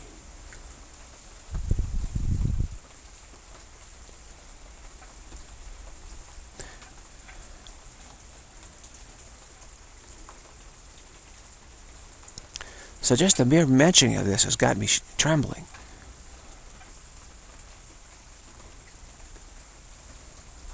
I remember back in the 60s, you get these these hippies and, and, and they, you know, they say, you know what? I finally decided I'm going to drop acid. And they, they drop it and you say, oh my gosh, are you crazy? What's going to happen? You're going to go insane? And, and like, and, but they're kind of like, I don't know. I don't know what's going to happen, you know. But I decided I got to be part of the counterculture and this is, this is what I got to do. This is my initiation into the counterculture. And like, like you feel like ah they've just gone past the no point of no return. They'll never be the same which is true. They never were the same.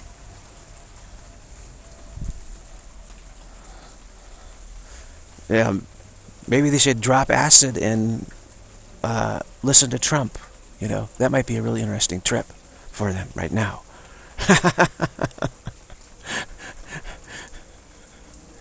yeah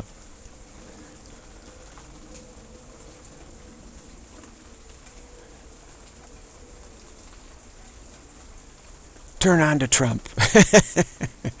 maybe they need to do that. Maybe you know, get get their get their karma straightened out or something. I don't know, but we don't need need to do that uh, because we can pop the Padmasambhava pill, which is a whole different story.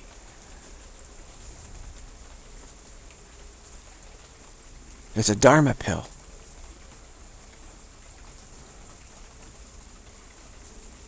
Now, Padmasambhava is a whole different story. He really is.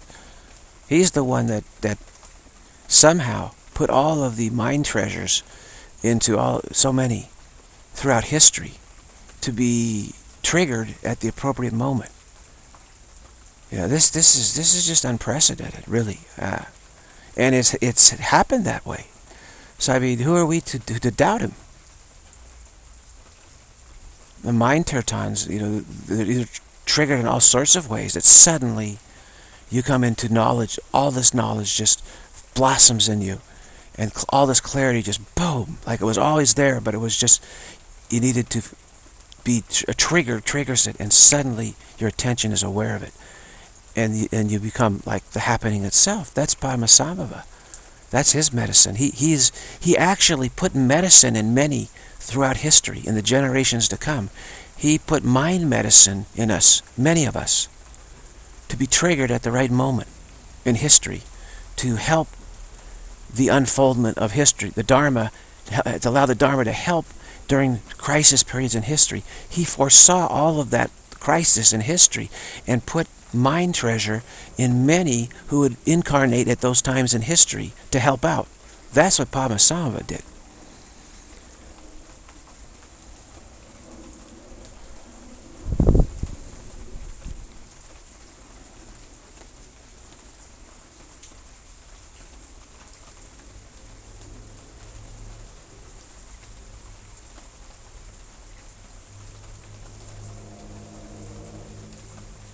Understanding the ebb and flow of the Dharma. He knew that there would come times where there would need to be boosts, and he also knew that there would be times when we needed a fresh perspective, a fresh boost that would have the right tone for the times.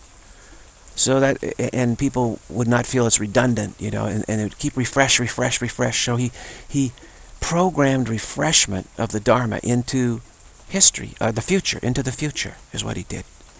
He's like a spiritual programmer.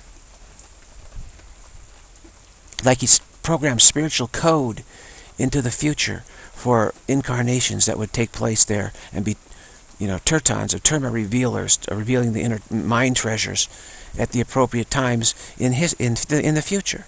That's what Padmasambhava did.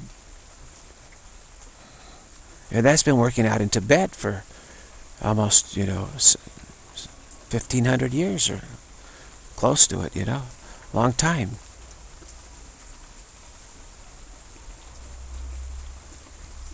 And who's to say that it will only happen in Tibet right now, you know, right?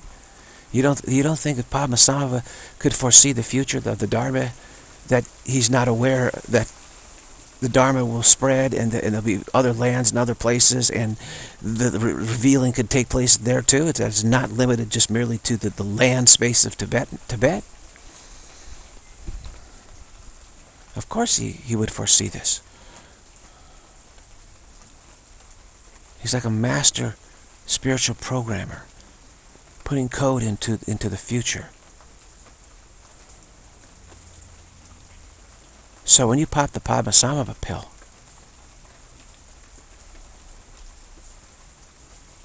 that's that's uh,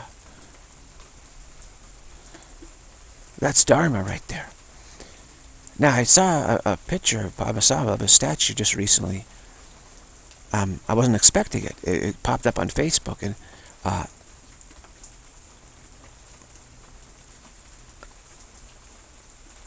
I saw it, and I and I felt so, so much love and attraction. I saw Padmasambhava in a different way, you say, "Oh my gosh," you know, how wonderful, how wonderful, how wonderful.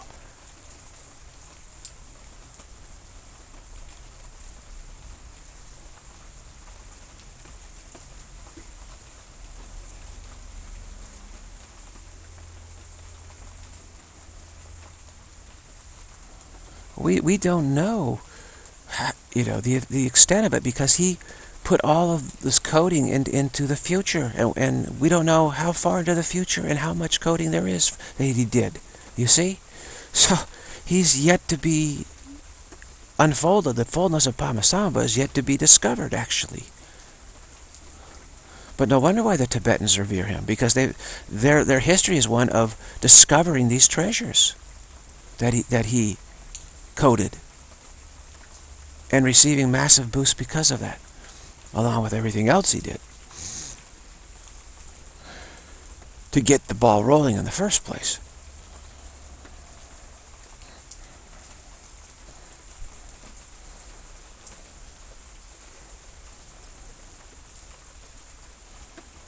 So who's to say that Padmasambhava doesn't have some mind treasure for us? Right? Right here, right now.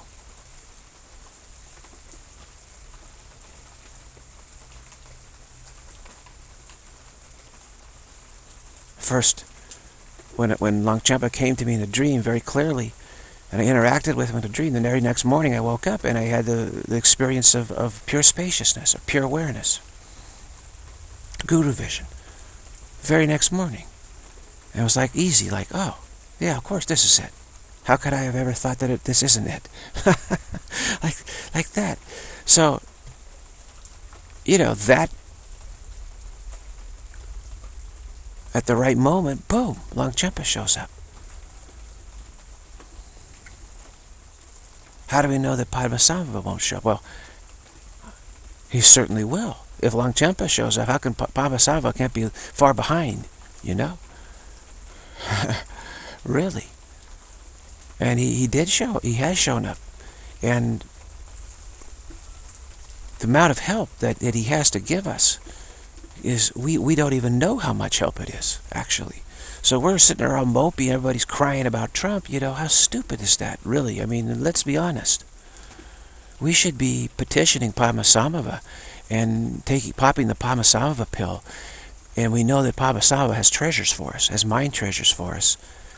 And we should be intent on, re on, revealing these mind treasures, you know, for the benefit of all, all beings. Shouldn't we, shouldn't we be spending our time that way instead of getting hysterical about Trump? Come on. You don't want to miss the boat.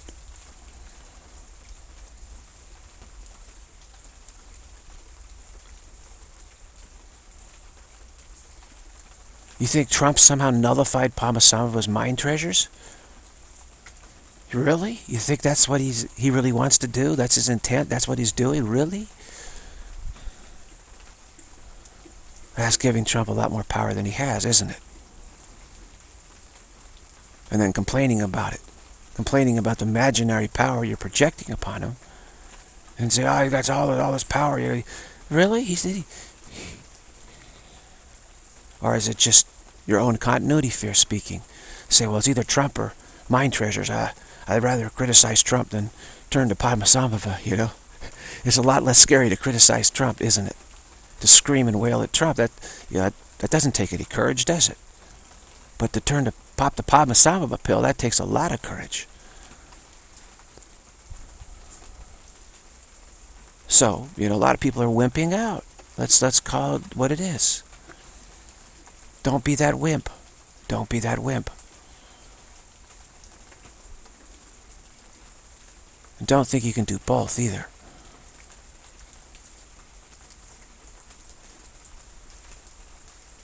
Because being a wimp is not being courageous, and popping the Padmasambhava pill, that's being courageous. And when you're courageous, you don't then go back to being a wimp. Okay? That feels like absurdity, and you just don't do it. So if you're still being the wimp, you haven't popped the Padmasambhava pill, that's for sure.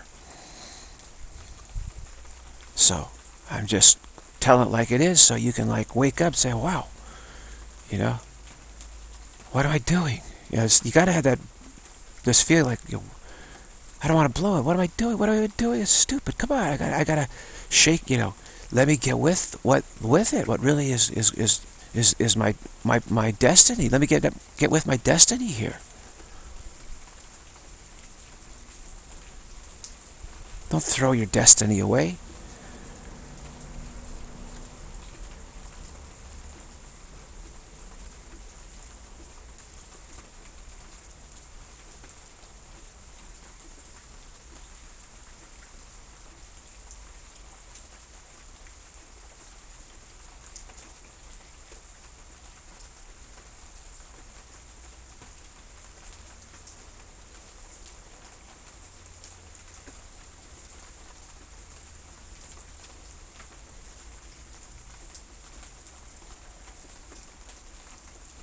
So it's fun to pop the Padmasambhava pill and get the jitters. I enjoy it.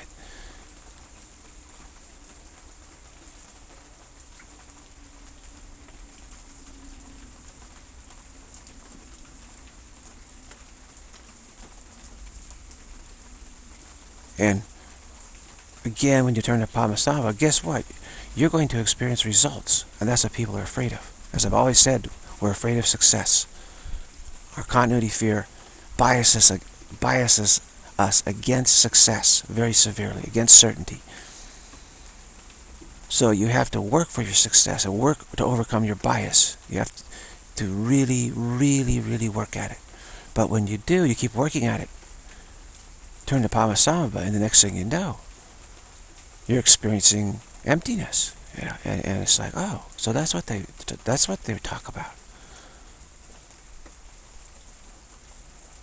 And you could say, hey, I'm empty of doubt. I'm empty of time, space, process, and form. There, there's, there's, there's none. It's, it, reality is empty of that. There's completely empty of that. It's devoid of any such possibility. It's empty of any such possibility.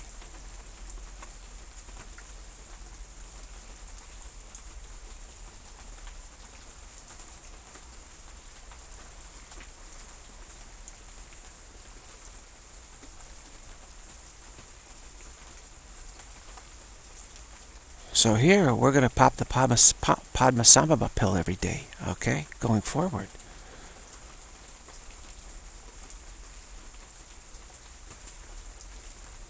We have to wake up and realize it's that or be a wimp who thinks that you're, you know, you're tough by, you know, screaming at Trump, basically, right? Is that what you want your, you know, tombstone to read? Yeah, I would have been happy, but Trump ruined it all for me.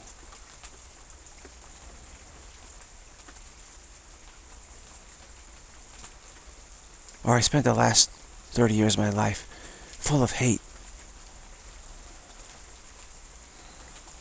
and disappointment. really. Or would you rather say, here lies one who popped the Padmasambhava pill and realize the rainbow body or you know is is now dwelling in the pure lands or that that radiated presence throughout the world. Or here lies one who spent a lot of time in in the in, in, led, led a dharmic life. Here's one that led a truly dharmic life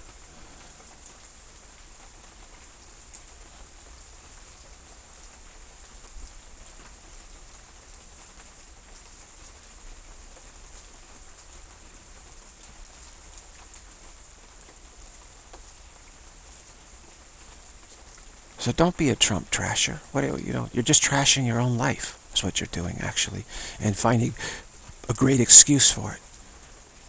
So instead of blaming yourself for trashing your life, you blame Trump for trashing your life. And you think, ah, oh, I got off easy. How clever. Even God didn't think of that. Which is the whole point of conditioned existence, this dream of condition, this wishful thinking of we call conditioned existence, is that we think we're more brilliant than God. So even God didn't think of this. We brought doubt into reality. Even God doesn't doubt God, but we can doubt God. But actually, there's no evidence of doubt at all. So we actually have never doubted God at all. We're just hoping that one day we can doubt God, but we need that day to come, which can't be this moment. it's never this moment. So then we have to believe in time and process and spa time, space, process, form to believe that one day we'll be more brilliant than God. Which means we have to overlook the moment, which is perfect. Right now. That's our problem. And then we're so used to doing this, we have continuity fear.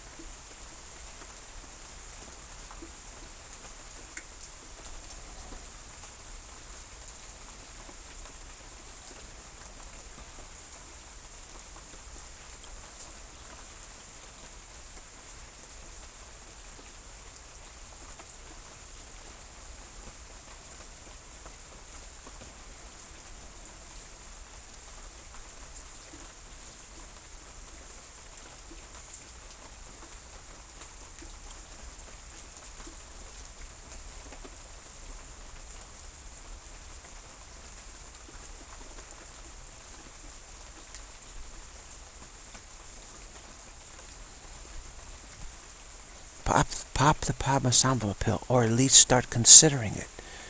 Right? Now, of course, it sounds like very daring and potentially scary and you know, like that. Oh yeah, of course, I understand. Absolutely. If you're not prepared for it. I've been preparing for it my whole life. So, it's still uh, full of uh, portents, you know, like, wow. It's like starting a ride at Disneyland or something. He's like, here we go. Oh boy, I just, you know, got in this ride. It started, the train is starting to move. oh, I wonder what's going on, what it's going to be like. I know there's, I know there's going to be, you know, bells and whistles, that's for sure. So, yeah, what's it going to be like?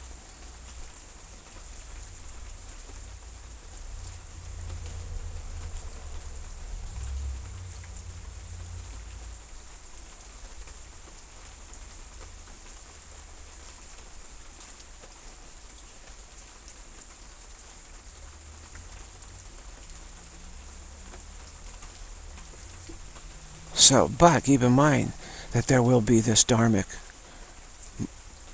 those are the dharma who have popped the Padmasambhava pill. And maybe one day you can be one of those too. And you don't know what it's like until you've done it. It's a hippie thing, right? That's what the hippies would always say. You, you, you know, there's no way you can understand me, man, until you use the drugs, you know. That's what they would say. And we could say, well, you know, there's no way that you can understand what it's like to not take drugs. you could say that too, right? But uh, but in, in terms of, of, of that was because we say, well, that's a negative thing what you're doing, right? We don't want to get upon that. But here is a pos super positive thing. So you nobody knows what it's like to pop the Padmasambhava pill until they do it. You can't know until you do it. So don't think, don't ask, well, give me a definition. You know, what's it like? Explain it to me. It's like explaining a hippie, you know, what, explain an LSD trip to me. They just kind of look at you like, uh, the goopy smile, just kind of, uh,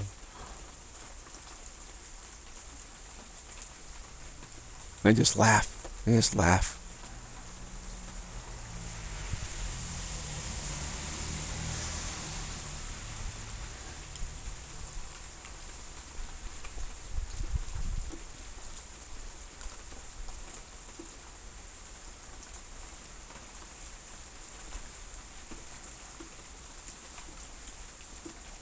You cannot explain what it's like to pop the Padmasambhava pill, really. I mean, it's just, uh, it gives you the spiritual jolt.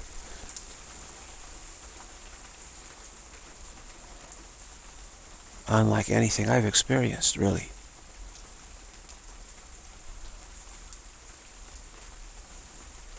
You don't know what Padmasambhava is going to do or what, what mind treasures he's coded. And, you know, he's just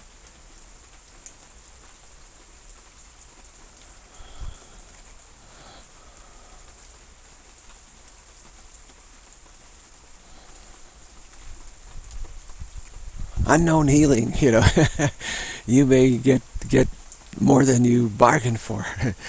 you know, hopefully, yeah, hopefully, and then we can wow it.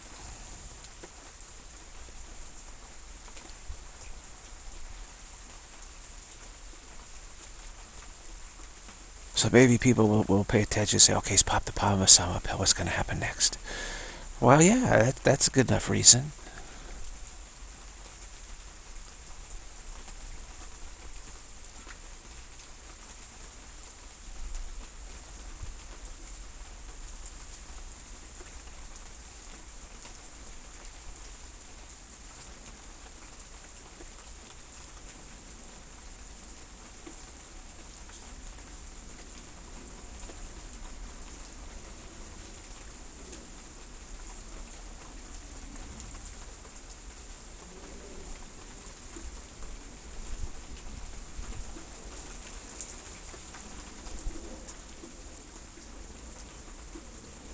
Now, you might be unhappy with Trump. That's fine.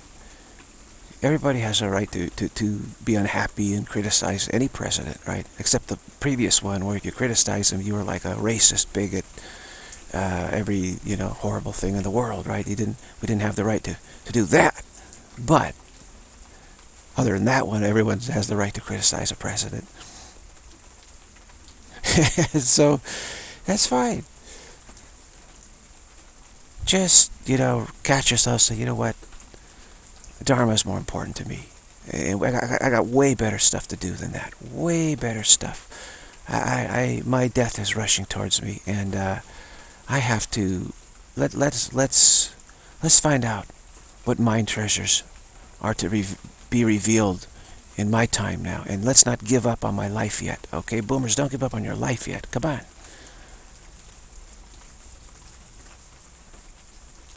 You may have 30 more years to go. And you could do a lot in 30 years, dharmically. A tremendous amount. You might even be get liberated in 30 years, actually.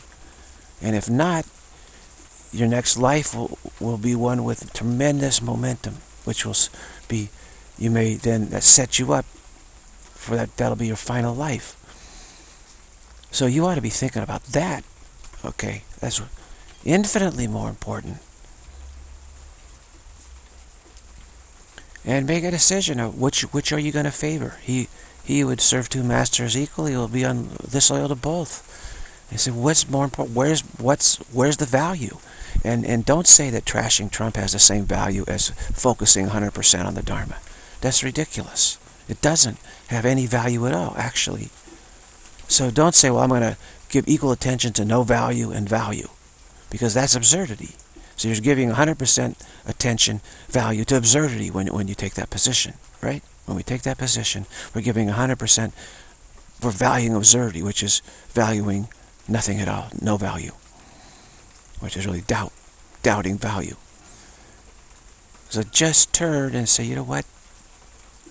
Yeah, I can occasionally, you know, say, ah, but uh, I might, you know, if I was following things, I'm sure I would too. There's something I'll say, ah, don't like that. But what's the use? You know, that doesn't help us. That just takes takes uh, momentum away from the Dharma, from us finding what real value. So don't seek value where there is no value. You're sure not to find it, right? If we if we seek where there's no value, we're we're, we're sure to come up empty-handed. It's hundred percent for sure we will.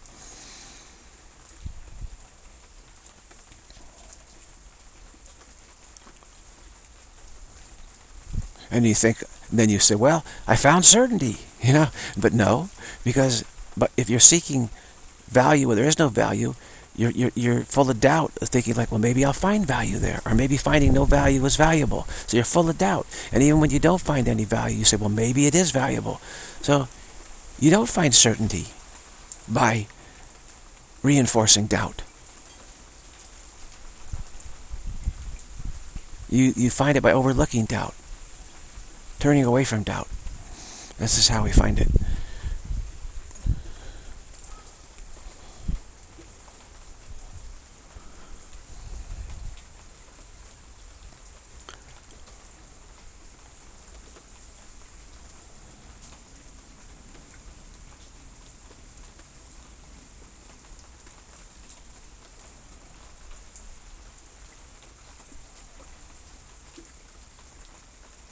And as far as, you know, trying to be an ageist and say, well, I'm older than you, so I don't need to follow your advice. Well, it's not about age. It's about what, what class are you in of society. I'm, I'm in a monastic class, actually.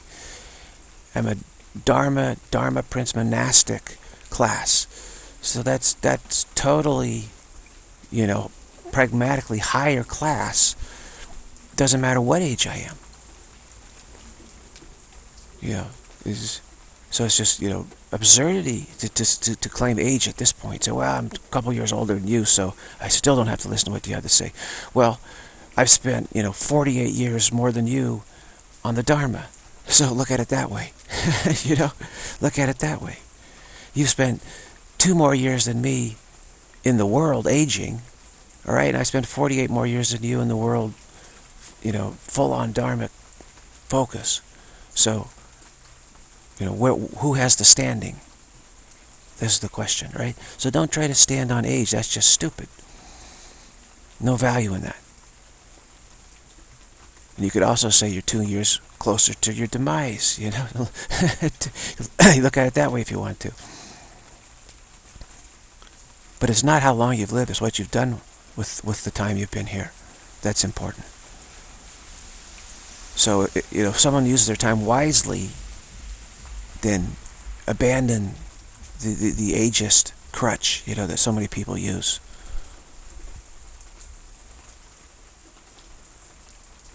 But, you know, they keep using it because it, it's, you know, it seems to work for them as far as, you know, blocking any sort of listening.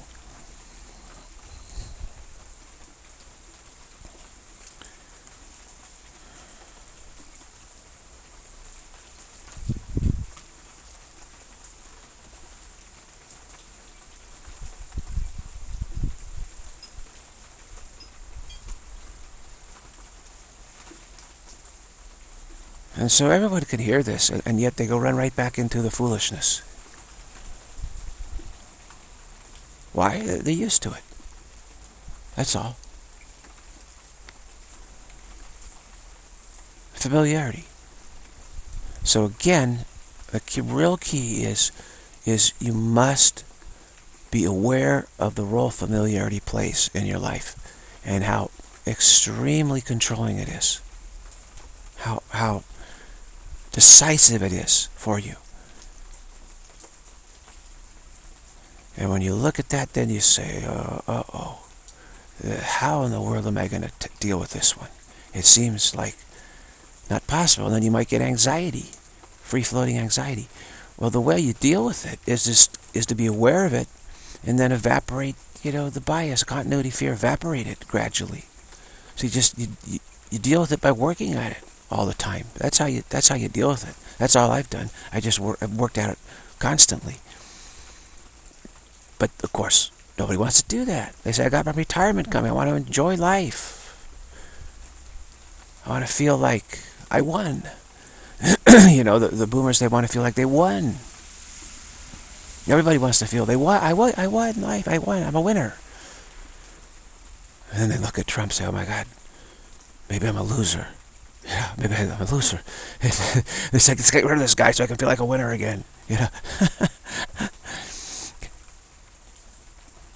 and they don't want to work at it because the only losers have to keep working all their lives. I've worked hard my whole life and now I want to retire. Well, a lot of people, most people worked hard at avoiding real work, the Dharma work, the tough work. They work really hard. Say, I've worked so hard in my life to avoid the Dharma work that I, I want to feel successful in that. And the rest of my life, I want to feel like all my hard work and trying to avoid it has paid off. And now I'm able to avoid it for an entire lifetime. And I've wasted a life and I've had a very successful uh, doubt episode. Episode of doubt. Very successful episode of doubt. And the prize of that is you get another one. and another. If you want another, you get another. Like that.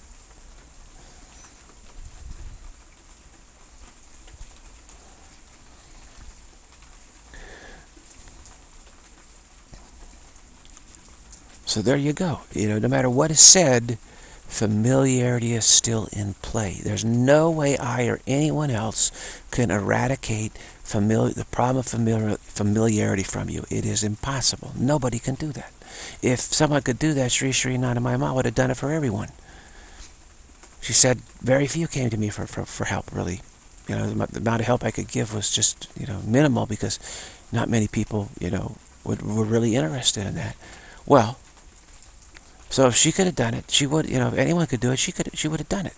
Just eradicated the familiarity problem. If everyone snap her fingers, it's all gone. Well, we'd all be enlightened. We wouldn't even be here. There'd be no world at all. We wouldn't be interested in it anymore. So we wouldn't keep imagining it. Jesus would have done the same. So, nobody can do, do it for you.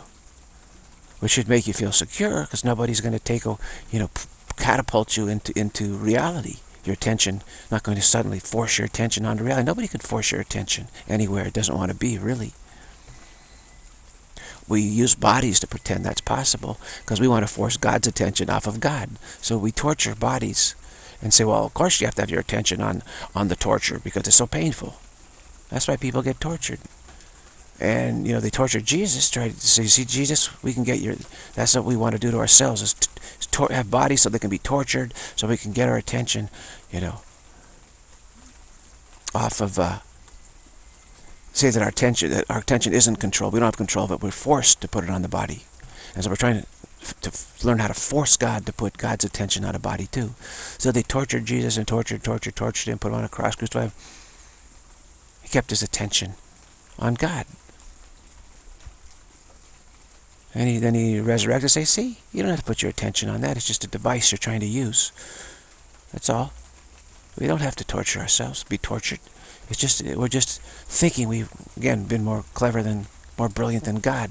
Hey, bodies force our attention to be where we don't want it to be. So there's some force greater than God, right, that, that controls our attention. Our attention isn't free.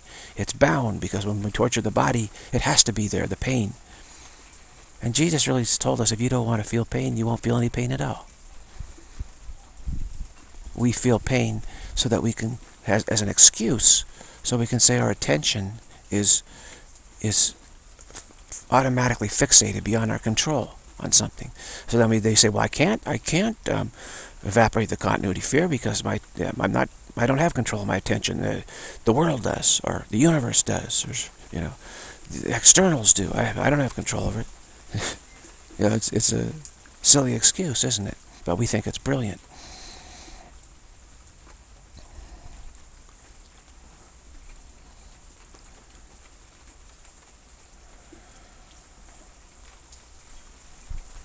So I'm I'm uh,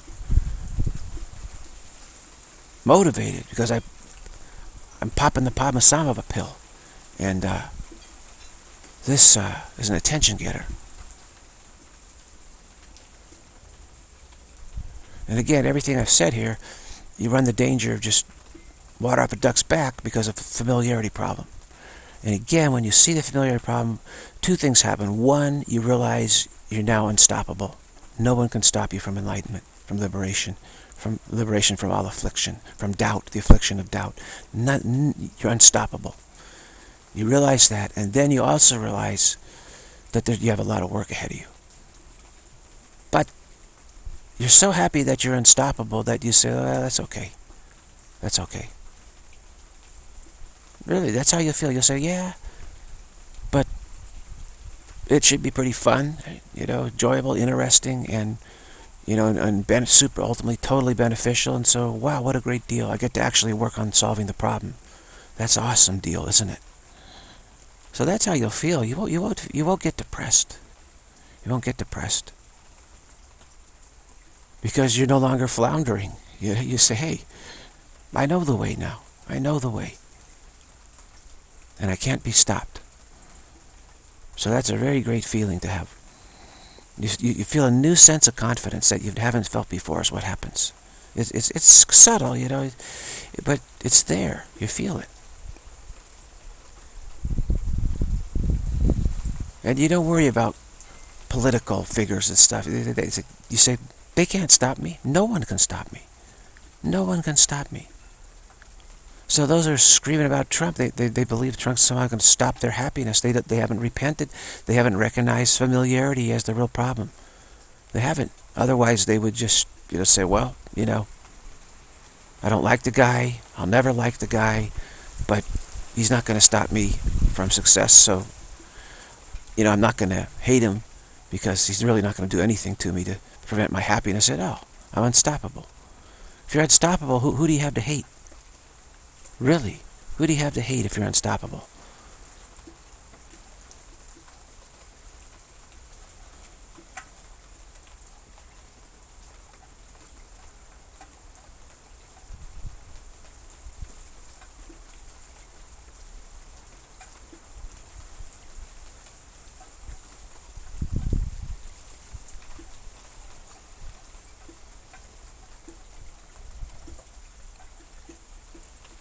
Still raining. 7 o'clock, so it's been um, 8 straight hours. They said it would be something like that. So, so far, you know, they may have got this one right. It was very windy this morning. I'm, I, I bet a whole bunch of trees came down up in the up in the mountains, and I bet with this rain, well, I don't know if there's blustery winds behind this rain. there's there's the winds are pretty still blustery in the storm. There there are going to be so many trees down. It's ridiculous. But plenty of free firewood for the locals, so they're you know they say, oh, bring it on. Says us they're not supposed to go out cut trees anyway, but trees have already fallen down. We can cut them up and take the wood home. Why not? I don't. I doubt there's a law against it. Uh, hopefully, you don't need a permit to cut up a tree that's fallen down and keep the wood. They'll probably tax you on it or something. Yeah, you need a permit and I'm going to tax you on the wood. If in Palo Alto, I'm sure they'd make you have a permit. If a tree fell, you'd have to have a permit to, to cut it. I, I wouldn't doubt that a one bit. And they and they give you some fee for keeping the wood and whatever. You know, they have permititis there. Very bad permititis. They think that everybody has nothing better to do than spend their life trying to get permits. Yeah, it's ridiculous. It takes months to get permits. And then more months for the next one. It's like never ends.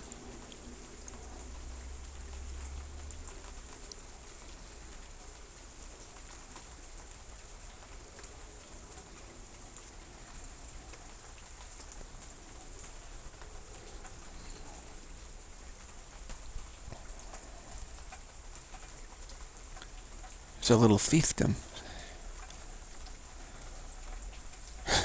More like a thiefdom, you know. Which all those permits add up to big money.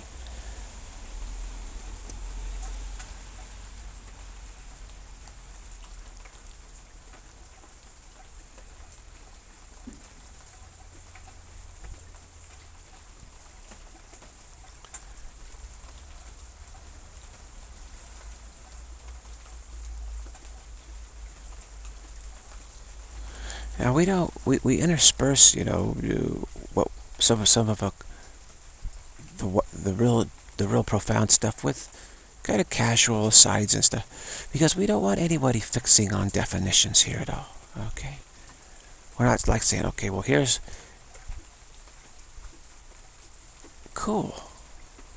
There's this insect in, in, in this light fixture here, and the spider has spun this unbelievable spider web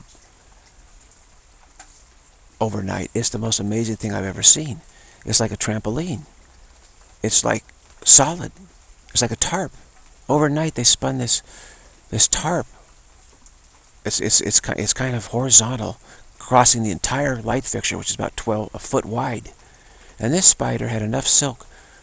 It's not a web. It, it it's like a fabric. This is just astonishing what this little spider did. And so I was wondering if this little spider was still there, but I hadn't seen it, so I just looked up and there it was. And I saw this insect flying around near the light. And it was getting real close to the web. And suddenly I saw this spider come zipping out from its hiding place. They like to hide when they're not. They put their web and then they hide. Remind you of any anyone? yeah.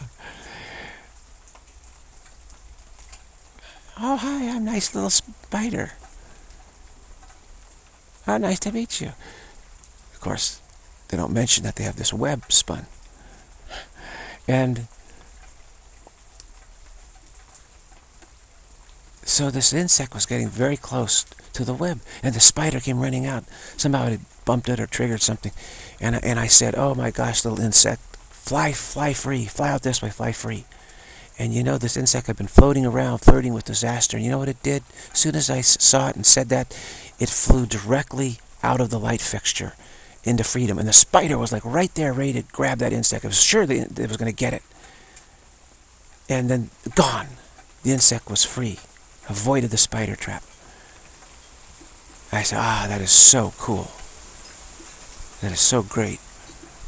And the spider was just like sitting there like, ah. I thought I had it, you know. Uh, what happened to my dinner? and now it's uh, gone back into hiding again. Very nice to see that. Very nice to see that.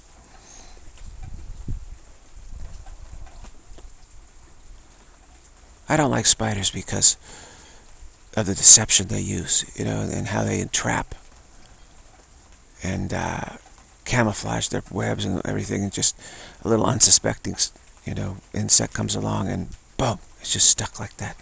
I just don't like that. And the spiders are like hiding away, you know, like I don't have anything to do with it. Or they're in the middle of the web, um, having beautiful markings and colorings like makeup on to attract like a, like a flower. They're, they're mimicking a flower or something to, to insects. Insects coming, oh, coming to the flower. Oh, I got stuck. So it's very, spiders are very devious. There's another insect that's come back there now. Hey, look out, insect. I'm advising you to fly away from the light. I could turn off the light and then you could, you wouldn't, I don't know, be attracted to it. But uh, get out.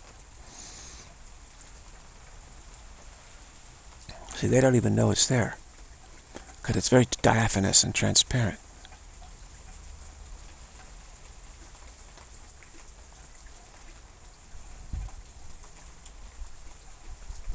But somehow insects have have grace with them too. It says, not my time.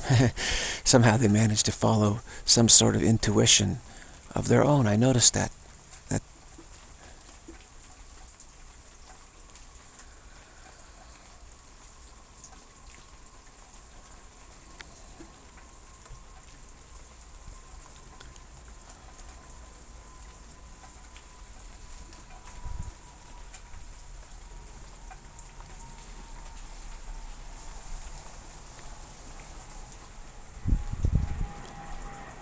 So we don't want to get stuck into the idea that, that I'm here to hand out definitions. I'm most definitely not here for that.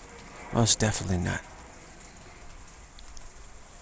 Handing out admonishments and encouragements and skillful means, but forget the definitions. Have the experience.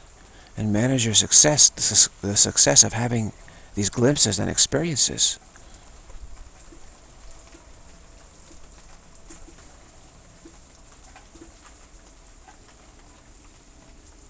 Pop the Padmasambhava pill.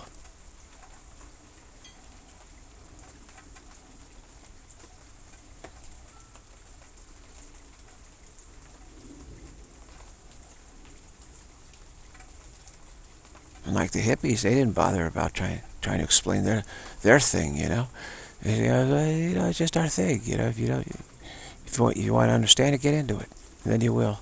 You know, well, dharmically, if you want to understand anything, get into it, get and experience it for yourself.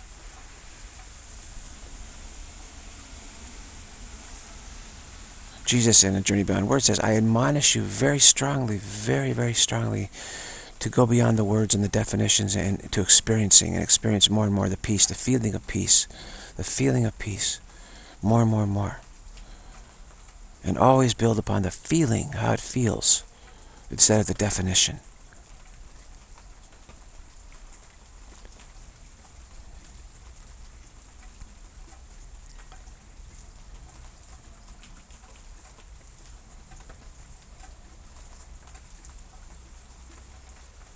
It's a funny thing. The, the counterculture has now become the tyrannical culture. And now we're trying to get free of the counterculture, actually.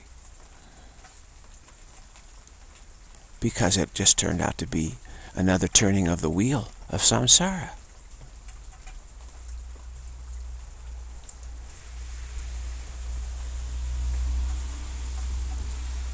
Except they, they want to pretend that it wasn't another turning of the wheel of samsara.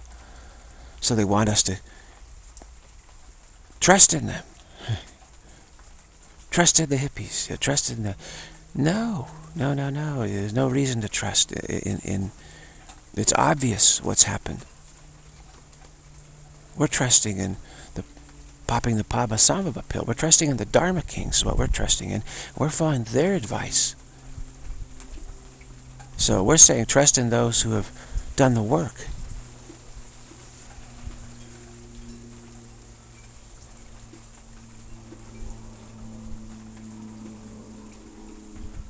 Everybody wants to, to pass away thinking they did the right thing.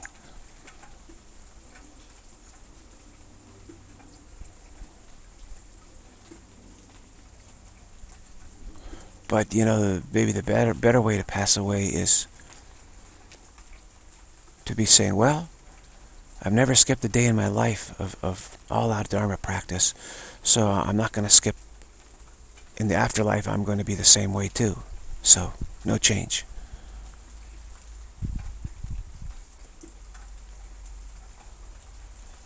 I think that's a better attitude to have.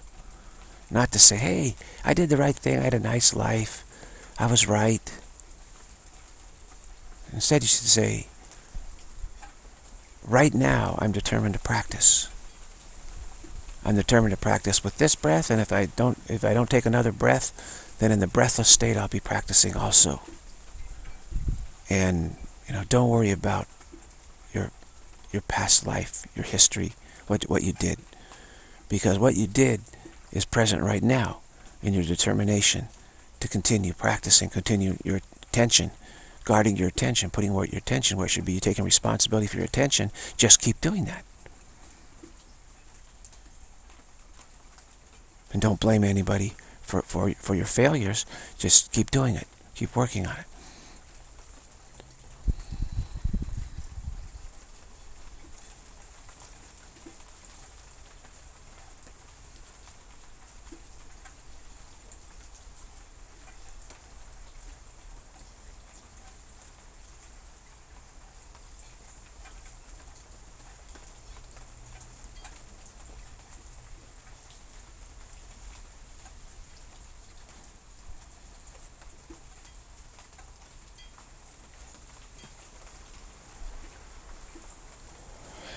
So these times, we need to uh, have these, uh, you know, heart-to-heart -heart talks that bring up, you know, what, you know, just the rawness of it all. It's, it's completely raw, isn't it, the, the world? It's totally raw, actually. This has to be recognized and uh, faced with the remedy, with a remedy, a true remedy.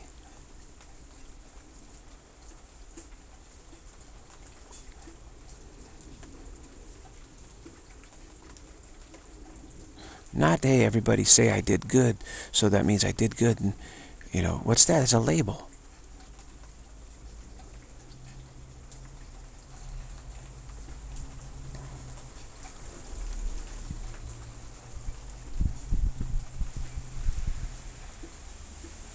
Let the let the Dharma flourish within you and, and see where it takes you. And and manage your success you pass away, you say, well, I probably had a lot of success at this life, and that means I'm going to have even more. I'm getting better and better and better, more and more successful, so I just have to keep managing my success in the afterlife, too.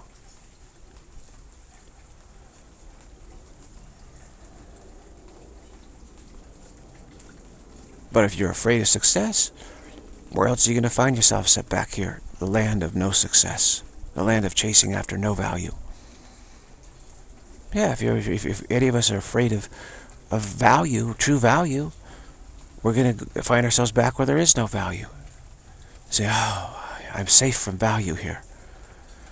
Where else could we, what else could we do except imagine a, a, a realm of no value and, and take refuge there, no value, in, in order to avoid the continuity fear of finding value? It's obvious, right? As long as there's continuity fear there, we, we fear value, we, which is certainty and we'll run back and hide, try to hide like the spider, hide in, you know, the, the, realm of apparently no value. Even though there is value, saying it's hidden here. It's very disguised, and we, the habits are to not pay attention to it here. So it's a land of bad habits, you might say. This world is the realm of bad habits, of attention, terrible, atrocious habits of attention.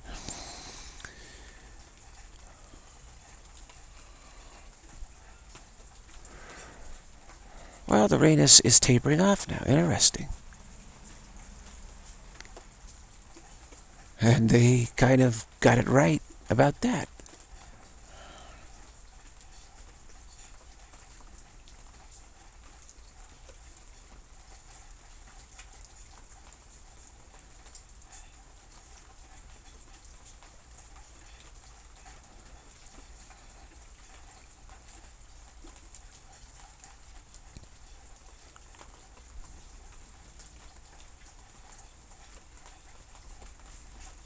How green can California get? Is what we're going to find out. oh my gosh.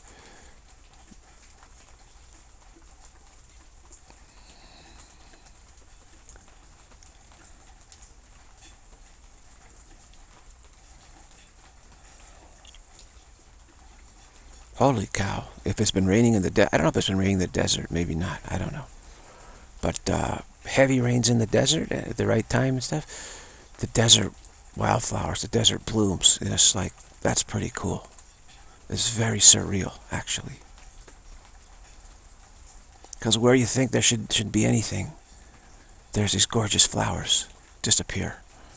Like, what? And they're so beautiful, the flowers and the colors.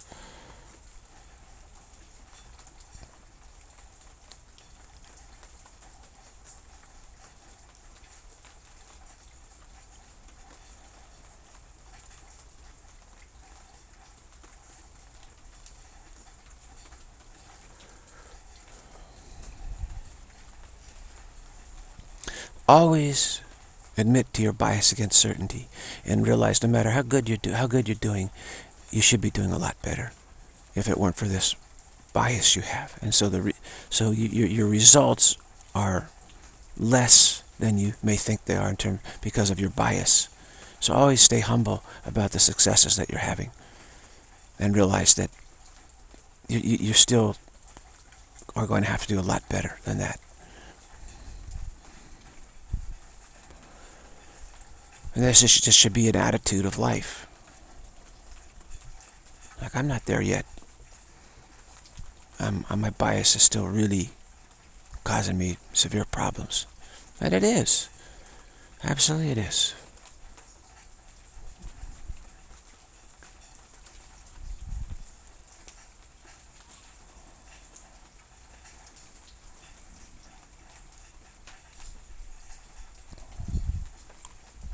So don't worry. No matter how much success you have, you can always take this attitude like, well, yeah, but um, you know, I'm, I'm, I'm still reacting out of bias against it. And this helps calm you down, helps keep you in the wow, helps you get from getting overly enthusiastic. All of this. I've had amazing success. Just uh, this morning, yesterday morning too. It's just yesterday morning especially actually. And, but you know, I'm just like, yeah, well, still plodding away here with my bias and uh, just still continue to be focused and moving forward as fast as possible instead of fixating on the, su the success I had and getting all over excite, you know, over enthusiastic, overconfident, bellowing about it. I just okay. Next day is coming. Let's uh, get ready for that one.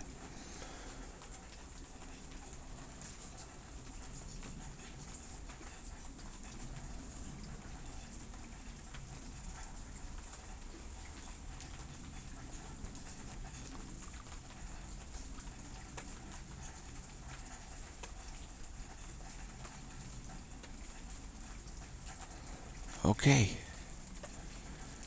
Enough for this one. Oh, we just hit the four gigs. That's oh, that's perfect. You know, just right. All right.